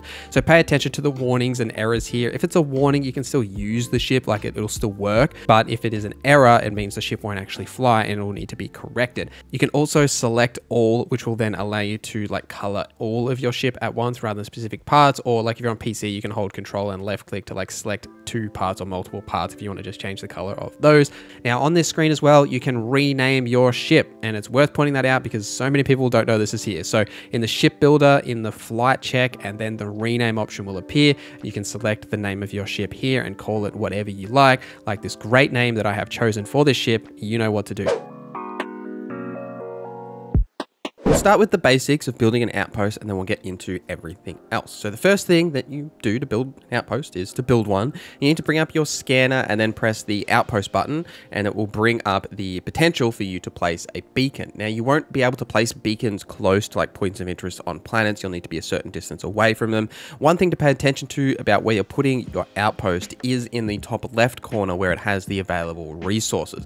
It's really important to make sure that you're building these outposts on locations that actually can be able to extract certain resources, especially resources you're looking for. And it's also easier to bring up your scanner and your outpost beacon and just like move it around the world to like locate these materials inside the radius of where the outpost will actually be. It can help you sort of find those actual deposits in the ground. Once you've found a location that you like, you can then build the outpost beacon there. It's always good to have an outpost on a location that has multiple resources available so you can extract multiple resources, but we'll talk about that shortly. So place down that outpost and then you can get into the basics of building. So the general basics of building here, right? Like regardless of whether you've invested into skills and research, everything, you'll have some general items available to you to build structures as well as the most base level of extractors.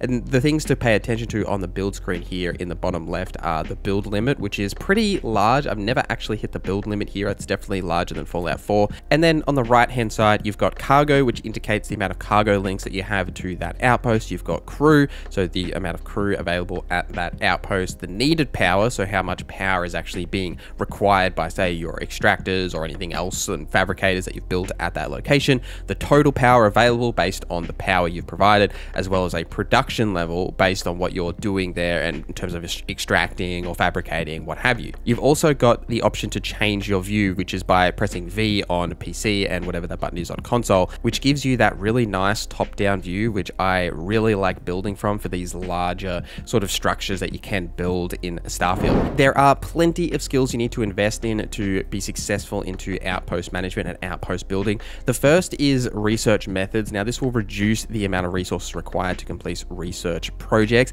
It's not necessarily like a must have, but those resource requirements can be pretty expensive, especially when you get into some of the higher level research that you do need. The core one you need is outpost engineering. So what this allows you to do is construct the improved outpost modules and the higher tiers allows you to construct the higher outpost modules or research them at the research lab.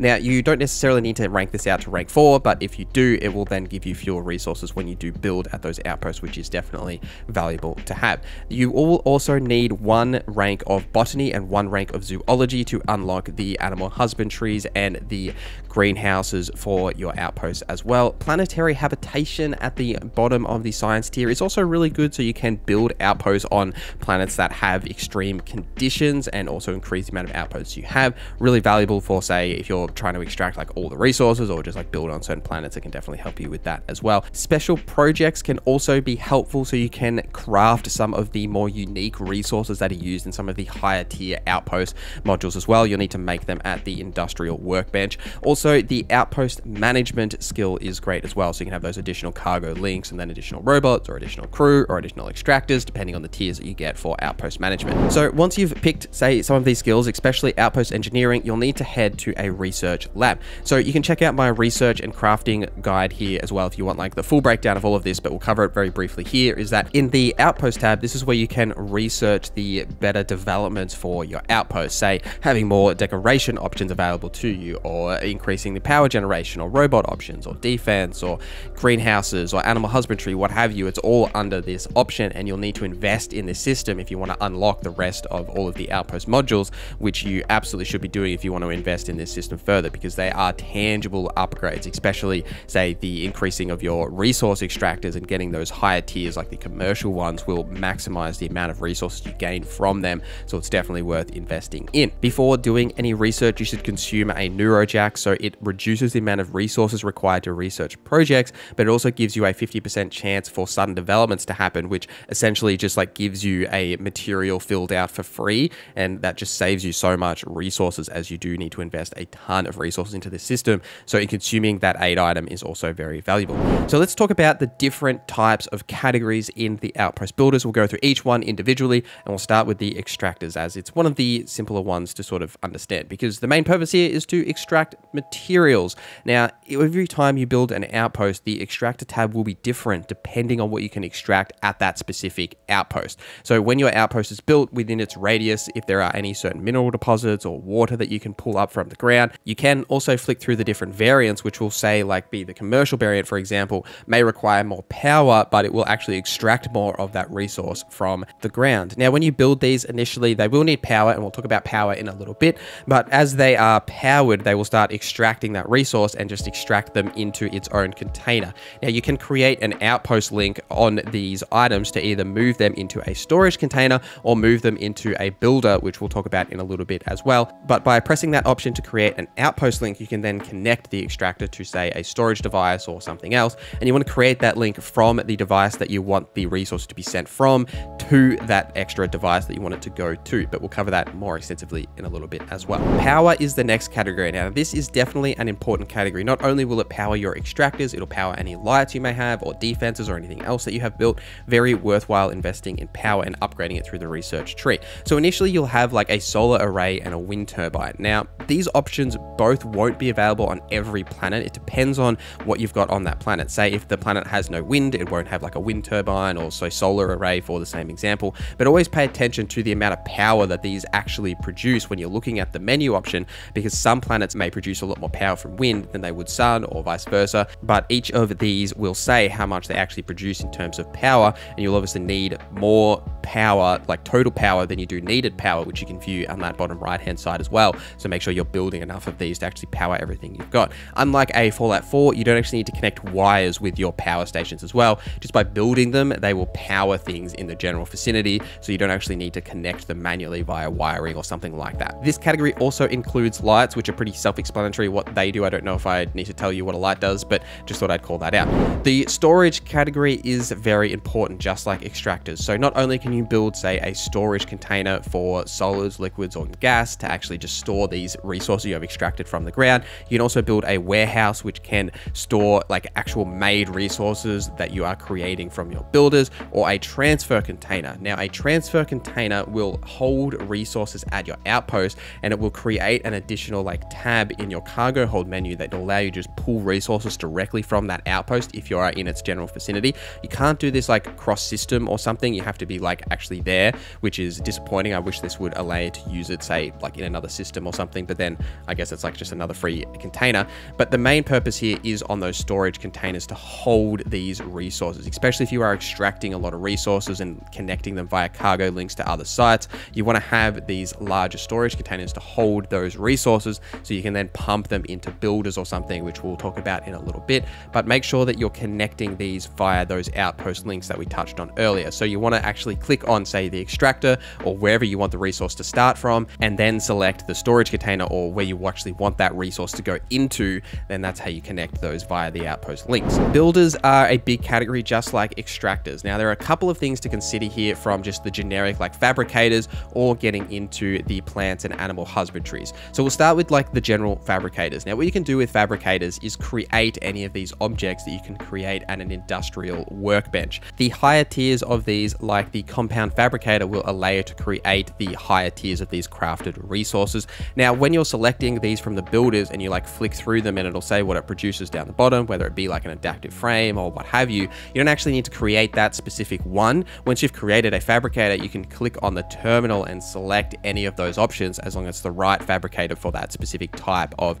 material that you're trying to create. So in order to actually use these, you need to add the specific resource into them so you can actually create them. So in this example, I had my fabricator creating adaptive frames by pumping in iron and aluminium, and which was coming from a cargo link and then into my storage container and then into the fabricator. But I wanted to change that to be a mag pressure tank. So in order to do that, I needed additional nickel as well as the aluminum that was already in my storage. So if I had set up, say, a nickel farm and that was going automatically into my storage container, it would just pull that automatically. But just to use this example, I just added nickel to my storage container and then via that outpost link, just being automatically pumped into the fabricator and just creating mag pressure tanks for me automatically. Now you can actually pump these out of the fabricator if I wanted to say build a warehouse and then connect it via an outpost link. I could move these resources out of the fabricator into that warehouse, which has a higher storage limit. So then it just wouldn't get full because the fabricators do actually get full over time. So I can do that as well if you wanted to. The other two main ones in this category is the animal husbandry and the greenhouse. So for both of these, you need to go out and scan the fauna for the animal husbandry and the flora for the greenhouses in that specific planet.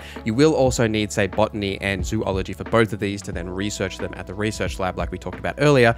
Now, it's also worth pointing out that if there is nothing available on that planet, say none of the flora or fauna can be produced at an outpost, you won't actually see these options in the menu. So it can be a little confusing, right? If you're wondering if that specific resource can be produced at an outpost, once you've fully scanned it, you'll see an option in that list that'll say outpost production allowed. That indicates to you that you can actually create it. And if you go back to that outpost, you'll see, say, a greenhouse or an animal husbandry available to you. Not all of these resources can be produced, which can be a little confusing and also a little annoying if the specific resource that you want from that planet you can't actually produce at your outpost. So once you've fully scanned, say, the flora or the fauna, let's use the flora for example here, you can then go back to your outpost and create a greenhouse. And once you've created the greenhouse, you'll then need to provide it with the required resource similar to the other builders. So in this example, I'm trying to create structural and I also need to pump water into my greenhouse in order to do that. So then I can build a water extractor, connect it via the outpost link, and then it will actually start powering it and creating structural over time because I've also got enough power at my outpost as well. This is essentially exactly the same for the animal husbandry. You do need to scan them and make sure that they do say that the outpost production is allowed. And then by creating an animal husbandry facility, you'll actually spawn some friendly animals at your base and you'll need to then select the resource at the terminal that you're trying to create and you'll need to provide it with the specific nutrients or materials in order to create that other resource. So in this example here, we are creating nutrient and it needs to add fiber and water. So we would need to connect our builder with water and say fiber, which you could essentially create fiber from a greenhouse if that was available to you, and then just pump both of those resources into the animal husbandry and it will then produce that other resource that you need out of it.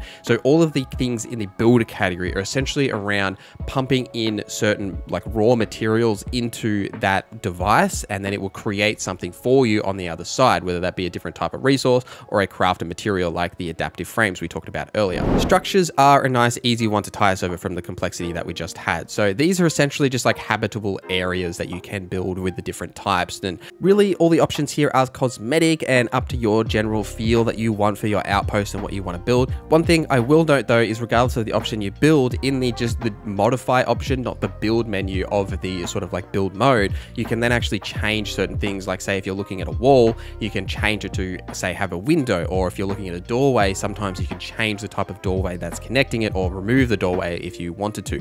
So when you're in that modify mode, you can actually change certain things. It's just worth calling out if you want to sort of change the general feel of these different modules. Crafting is the next one. Now the crafting one is pretty self-explanatory. Like this is just all of the crafting workbenches that are available to you. You can have these available to you on your ship or even at the constellation downstairs, but there's nothing special here. But the one that I will call out is the industrial workbench. So anything that we talked about in that builder section with those fabricators, you can actually craft them manually via the industrial workbench. This includes anything that requires, say, a special project. If you do have that skill, you'll be able to craft them there, which are needed for some of the higher tier certain modules you might create at your outpost. Defenses is the next category that contains all sorts of turrets that are available to you to build at the outpost to defend it if it ever gets attacked, whether that be by vicious creatures or something else. In my experience, I have never had an outpost actually attacked. Now, that may be different for you if, say, you build on a planet that has a bunch of aggressive animals, or like if you've got the wanted trait and people come to you, or if you do a certain thing in the main story, which I won't mention. But there are definitely reasons to have defenses, but it's not going to be attacked as much as, say, a Fallout 4, where you're getting constantly spammed by raiders constantly attacking your settlements. Robots are a fun category, not only because they're cool, but because they also give you additional percentages to your production rates depending on the robot you build. So certain robots, say like the Garden Mini bot, will increase your production rate of organic resources. Those organic resources are things that come from your greenhouses by 10%. Different robots will give you different buffs. You can see them on the left hand side, like if you're building an engineering robot. It'll increase the production rate of your manufactured items, but there's plenty of options to pick here as you do increase your research level with the robots. You'll have more options.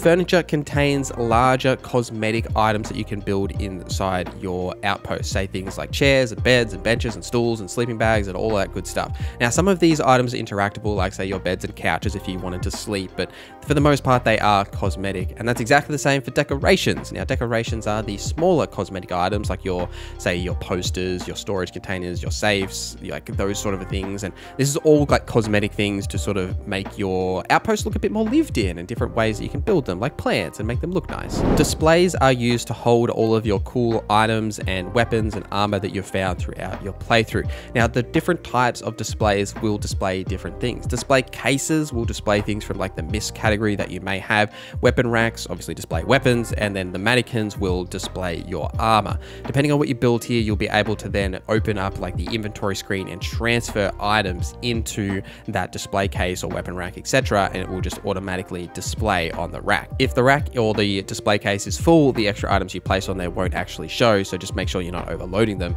but that's essentially how you sort of show off any cool things that you've collected throughout your playthrough. The miscellaneous category might be our last category, but it's quite a large one. So the first thing that you have here is scan boosters. Now there are different tiers of scan boosters, but essentially what these do is increase the range of your hand scanner. That's depending on the size of scan booster that you do build. So say the smaller ones just double it, and then the larger ones quadruple it. So essentially this means you can scan things from further away and find things further in the environment on that planet, say if you're looking for certain things. The next is cargo links, but we're going to do cargo links and the crew stations separately. So just hold tight for a second. The next ones here that we have is the landing pads, both a small variant and the shipbuilder variant. I highly recommend building the shipbuilder variant. The small variant will only hold a small ship, and for the most part, you're probably going to have a ship that's too big for it.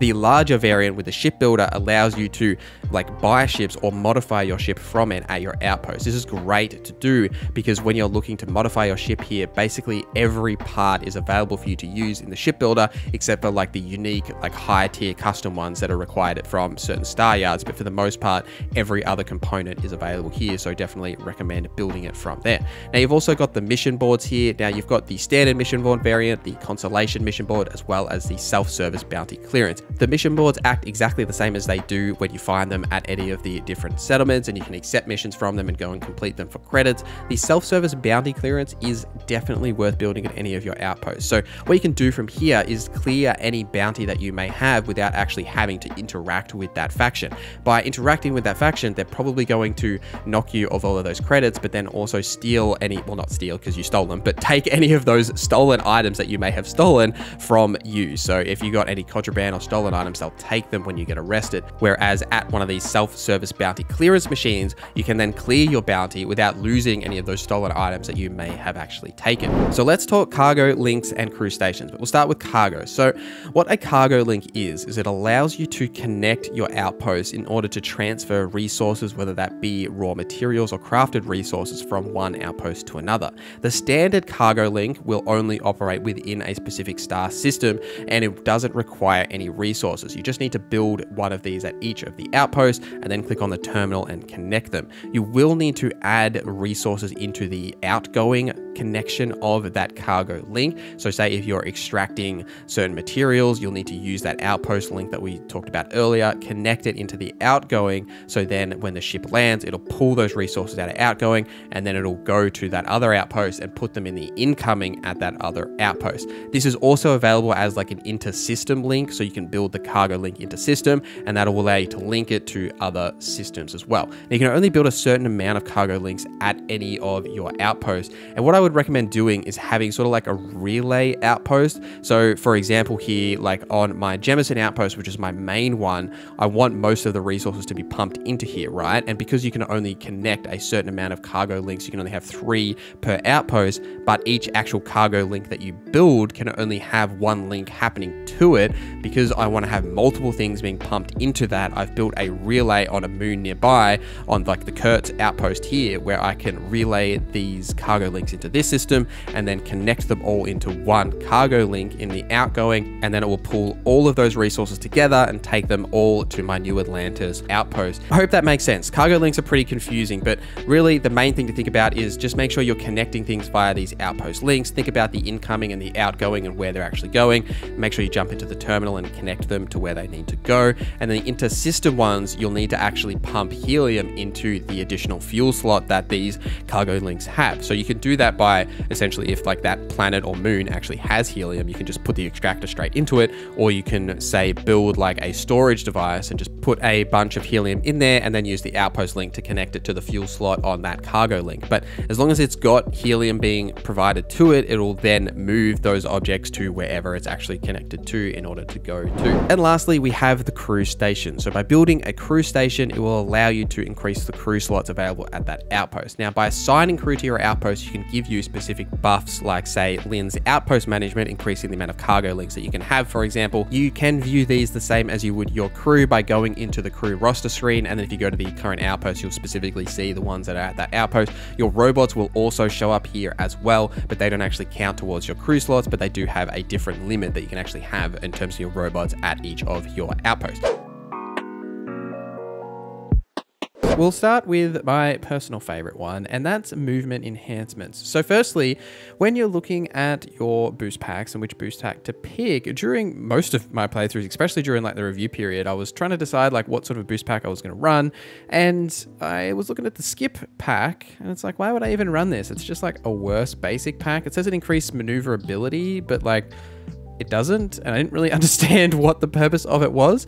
But if you go into the settings and into your bindings and the jump key, if you bind the alternate key here to something else, it actually has an entirely different form of boost. It'll actually propel you forward rather than up. And this is the same for any boost pack, right? It's not just a skip capacity, it works for all of them. And that speed that it throws you at and the distance is significantly more than if you were just using like the typical spacebar. You can see in these comparisons, right, where I've like put a rug down here and I'm jumping off. There's a big difference between that first rug where I'm landing, which is just like the basic spacebar jump, and the second jump, which is that alt jump using the skip capacity pack. And it works for all of the different packs, right? It's just the skip capacity one is like the most obvious to see this because it's like that sort of short burst that propels you forward. It just get, makes exploration, exploring so much quicker and more enjoyable because, you know, I don't know about you guys, but I just like boost pack everywhere and being able to like do this like all the time and actually propel myself forward has been significantly better. But there are other ways to improve your movement speed as well. The first is via AMP, which is a craftable chem that you can make at any chem station, which will give you a 35% increase to your movement speed for two minutes, which is very solid. Like, absolutely would definitely recommend using this. Anytime you can increase your movement speed because we don't have vehicles is obviously fantastic. If you don't want to make these or you just want like another alternative, if you go to the Red Mile, you can grab the Runner's Rush, which will give you a 20% movement speed increase for three minutes. So not as fast, but for a longer period of time, plus the 25% O2 recovery, so you can like sprint for longer. So they both sort of even each other out, right? One's a little bit faster movement speed, while the other has better O2 recovery. But either of these options are absolutely worth grabbing just to increase that movement speed so you can zoom around better because, I mean, we're always zooming around in Starfield trying to get to locations and just like traveling around. So it's definitely been a beneficial thing grab. The next is for your outposts themselves. Now, I don't want to cover anything that I've covered in other videos, especially like my outpost guide that went through a ton of stuff for that. But one thing that I actually think I mentioned in that video that I found significantly annoying is that when you're trying to place items and you like rotate them, the rotation speed is so fast and you can't like get the intricacies of like lining things up perfectly. Pivot! But actually you can. It's in the settings again under controls. There's outpost item rotation speed. Now you can change this. It originally it's at 5%. Just knock this all the way down to 1%, honestly. And then you can actually use this to be able to place things correctly with the right orientation that you're looking for. Another tip for outposts as well is, you know how you can pick up items, right? Like just by holding the action key, you can like pick them up, you can rotate them and place them down for like trying to get that sort of clutter feel for your outpost. You don't actually have to do it this way. If you just like like throw the item on the ground, whatever it is, and then bring up your modify mode in your build menu, you can actually still pick up that item and then place it using the build menu exactly where you want it to go, rather than having to try and finagle around with like the pick and rotate options that you get just from like using the physics in the game. So there's other ways you can do that to make it a little bit more beneficial. This is a common one that you may know, you may not know, but you can actually sort of farm legendaries in a way. So by going to a location and entering the location with your difficulty completely maxed out, more legendary or elite enemies will spawn and they have a higher potential chance of dropping higher quality and legendary gear. But to save you the headache of having to actually fight these enemies on that difficulty, once they've actually spawned, you can lower the difficulty back down. Their health and damage will reset, but that enemy is still the exact same enemy, so their loot table will still be the same, and you have a higher chance of actually getting that higher quality epics and legendary gear. This thought was going to get patched, and it hasn't been patched yet. Maybe it'll get patched, but I've tested it on multiple like runs with the same area, just going through, and on the ultra hard like difficulty, running this through, and then essentially entering the area on the hard difficulty, then lowering it down to normal, killing all these guys, and then testing it by going back to that quick save and then running it just completely on the normal difficulty. Basically, every single time on the hard difficulty, I at least got one legendary, and in 10 runs, I only got one legendary once on normal. So it definitely still works. They may patch it, but it's just worth pointing out that if you're trying to farm legendaries, this is a fantastic way to do. And speaking of gear in that similar way, weapons actually have tiers. Now, I didn't realize this for a long time, but when you're looking at weapons, they often say things like, you know, an assassin's weapon or what have you, but there is certain categories listed under there that actually reference the tier of the weapon. So initially, like there's like the basic tier, which is just the weapon itself. Then on top of that, there is calibrated, refined, and advanced, and advanced being the top. So paying attention to this will notice how sometimes weapons just seem to do like more physical damage. And it's because of this tier. It'll say if it's calibrated or refined or advanced. And you can see in this example here, I didn't actually have any calibrated versions. I couldn't find one, but you can see that the damage numbers actually significantly increased. Even though this is just a basic Grendel, that actual physical damage is significantly more. So this is really important. Again, if you're looking at say legendaries and you come across weapons and things that aren't as powerful, like if they've got really good legendary effects, but they're just like a basic tier, you'll later in the game find just like an advanced weapon that's significantly more damage. And it's like, well, probably want to switch to that. And it's also worthwhile to farm legendaries in that way to try and get them on that advanced tier so you can keep them for longer. So pay attention to that as it makes a significant difference. It also affects armor in the exact same way. Armor ratings are exactly the same. And while we're talking about weapons, did you know that with electromagnetic guns, you can actually charge them? So electromagnetic guns, as you know, if you shoot enemies, you'll like knock them out. If you hold down like the shoot button and then shoot, you'll actually deal more EM damage to them and they have like that charged effect. And in some cases, you can just like one shot knock them out by charging the EM weapon rather than like tapping it. I don't know why it doesn't tell you this, and it doesn't even make it clear that you can charge them. There's no like visual indicator except the gun has like a tiny little shake, but you can actually charge them in that way. You may remember in the Skyrim days how you could just like put a bucket on someone's head and then stealth around and steal stuff from them. In Starfield, it is kind of similar, but a little bit different in that the chameleon armor allows you to literally just stand in front of people and steal things like they don't even notice you. Now you need at least two pieces of chameleon armor. You can't just have the one. One will make you invisible, but you're still detectable for some reason. If you have two, you are completely undetectable. Even if you're standing literally in front of the person, you can just steal things as much as you like. Now, once you've stolen all of those goods, if you want to remove the stolen tags, or if you do actually get arrested, you don't actually lose them, you can either sell them to a vendor like the Trade Authority and then immediately buy them back and then lose the stolen tag. Or if it's just like a weapon or an armor, you can actually go to a crafting table and mod that piece of gear and it will lose that tag. It just saves you that money. Obviously, you lose the materials for doing the crafting, but it saves you the income of having to say sell it and buy it back and that sort of a thing. But weapons and armor instead, you can do this by even adding a mod, removing a mod, any of that, and it will actually remove the stolen tag as well. And as another note for the stealth players, when you're wearing armor, even if it's like hidden because you know you're in a settlement or something like that, it still has a sound and it makes a ton of sound because you're literally wearing a giant spacesuit. So take that off if you're trying to do any stealth activities. When you're exploring planets and trying to max out the survey, there are sea creatures that are super easy to miss. The only way you'll, well, not the only way, but the main way you'll find them is landing on coastal areas because you can't land right in the ocean, right? And when you're looking at these biomes, if you are sort of like trying to land right on the border of the land and the ocean, sometimes the biome name will change to have in brackets coast. Now, if you go to these locations, you'll actually find like, you know, a beach and be able to find those sea creatures just swimming around in the water. You can jump in the water and go and get them if you want as well, but worth noting that the same with flying creatures, sea creatures, you can actually scan from ages away even without upgrading your scanner. So you don't have to get close to them, though you could just kill them, right, to get the experience. And then when you kill things, it instantly scans them as well. But just worth pointing out that it's a super frustrating thing for exploration that sometimes it'll say like you're 100% explored and you can't find something. Chances are it's probably a sea creature. To expand on exploring even more, when you're looking at planets in the star map, when you're looking at the two sides of the planet, right? The side that looks at the sun versus the dark side of the planet.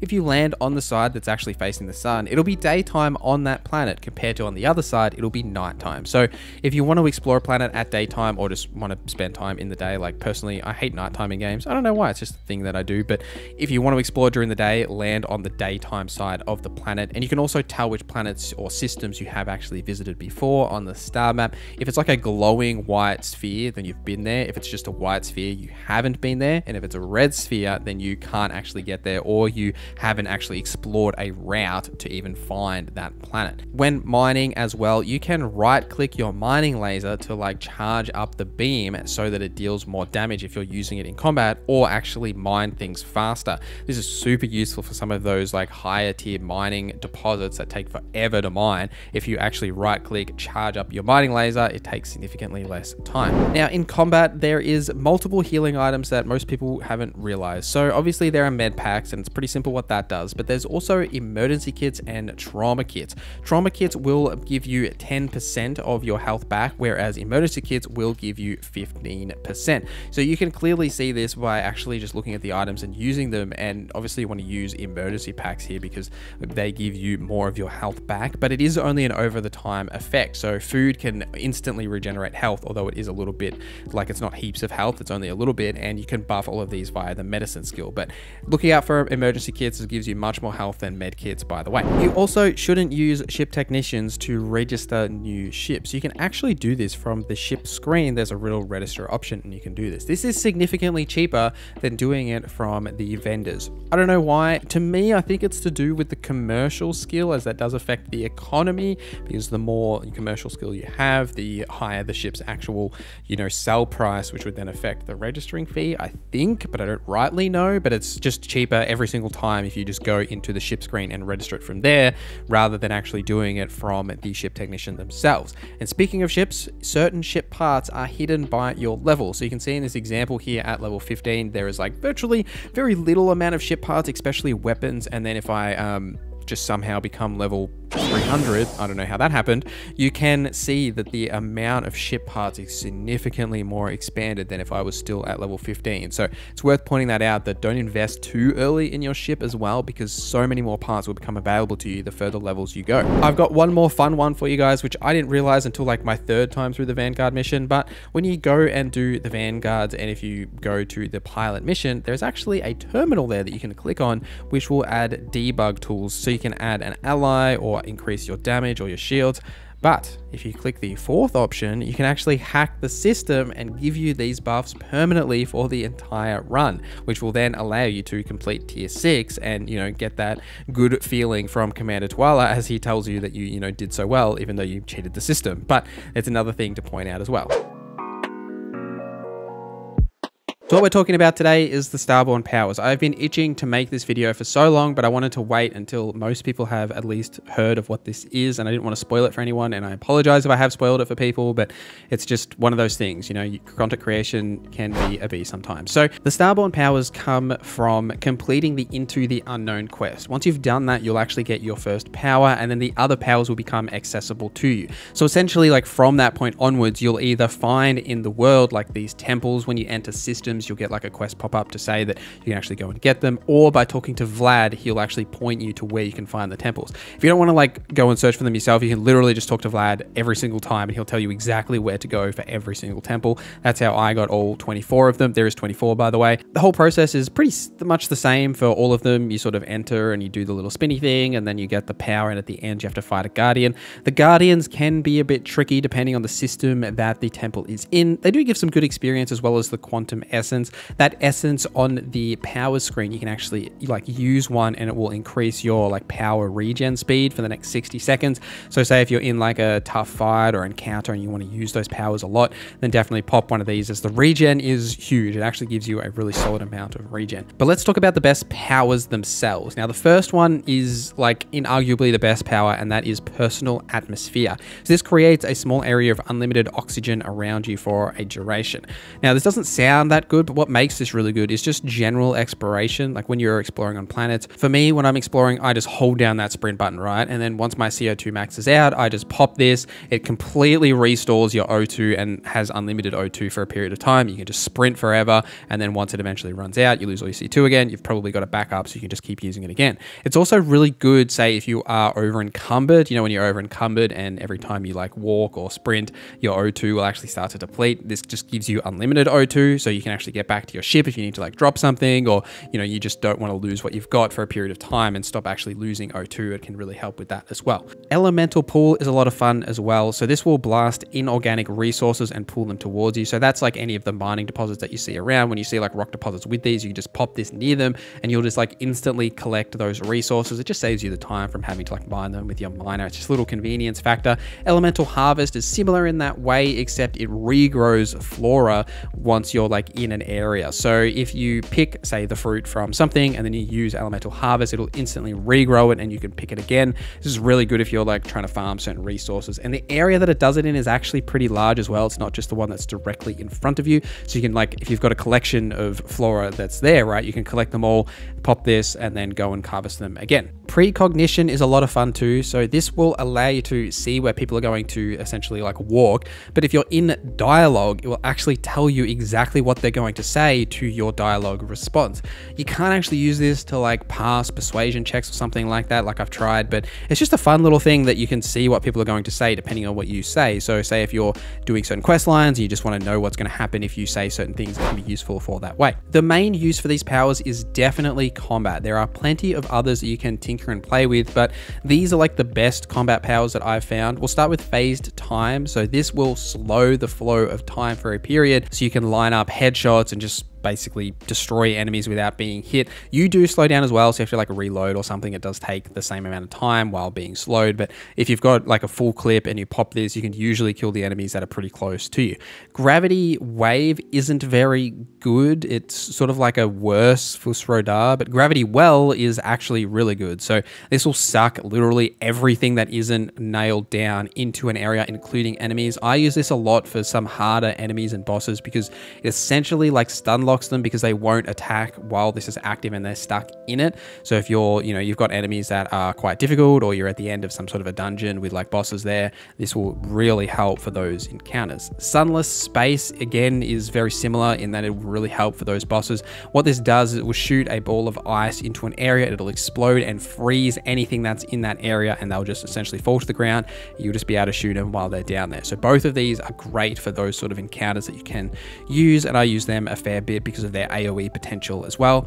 Creator's Peace is a kind of fun. So this pacifies all enemies in an area and disarms them for a duration. Now this only works for enemies. You can't use this on allies to have them like drop their weapons, but on any enemies, you can just have them drop their weapons and then you can pick them up and then they have no weapons. So if they, once that effect wears off and they do attack you, they're just going to punch you, right? Just another way to help in those sort of difficult encounters to have enemies drop their weapons. It obviously doesn't work on aliens, like they don't have weapons, so they're not going to drop them, but you can use this on Spacers, Crimson Fleet, pirates, what have you. Parallel Self is a ton of fun. So this will summon another version of you from an alternate dimension for a duration. And this version will have like the same armor and weapons that you have equipped at the time that you press that button. So say if you've got a giant minigun, then you can hold that minigun and then pop this. Your self will then have that minigun. You can switch to whatever other weapon you wanted to use, but there's a lot of fun that you can have because they'll just have whatever you have equipped and it just gives you another ally in combat. So if you've already got a companion, it gives you another one. So you've got the freedom there. It doesn't really come up very often, but you can also use alien reanimation in a similar way. So you can like resurrect a dead alien to fight alongside you for a period of time. For the most part, like alien encounters are either pretty rare unless you're specifically going out to like look for them, or they're like not super involved. But either way, like if there's aliens around, you can then reanimate them to fight. This is just like a little fun mechanic, and you can do a similar thing with the inner demon to like make make human enemies like create a copy of themselves and like then they attack each other. So there's some fun things you can do with these, but Alien Reanimation and Parallel Self are pretty good. There are two defensive powers and they're both really, really good. The first is Reactive Shield. So this will create a shield in front of you that will block any projectiles and in some cases reflect them back to the attacker. This only works in front of you though. So if you've got enemies attacking from the side or behind, it won't work. Or like say if there's an explosion on the ground, right? It's obviously not going to block that, but it's a fun thing. Say if you're like in a doorway or like a choke point, you can stand there and then have all of the enemies shoot into it and then you won't take any damage. And likewise, Moonform does a very similar thing, but it locks you in place. So when you activate Moonform, you can't move, but you essentially turn into stone and all of your resistances are increased greatly. Now, you very rarely can die when Moonform is active. Like you will take some tiny little bits of damage depending on the armor that you have equipped, but essentially you just become a god and you can just stand there and deal a ton of damage. This is great to combine with effects that do additional damage or say resistances when you're standing still. So you can just stand in the middle of a fight and just mow enemies down. It's really good to use. Again, it's a great effect to use for those sort of boss encounters to prevent you from dying. You can just stand there and melt away at them. There is two fun stealth abilities that I highly recommend using. The first is Void Form. This is probably one of the funnest abilities. So you wrap yourself in light and become nearly invisible for a duration.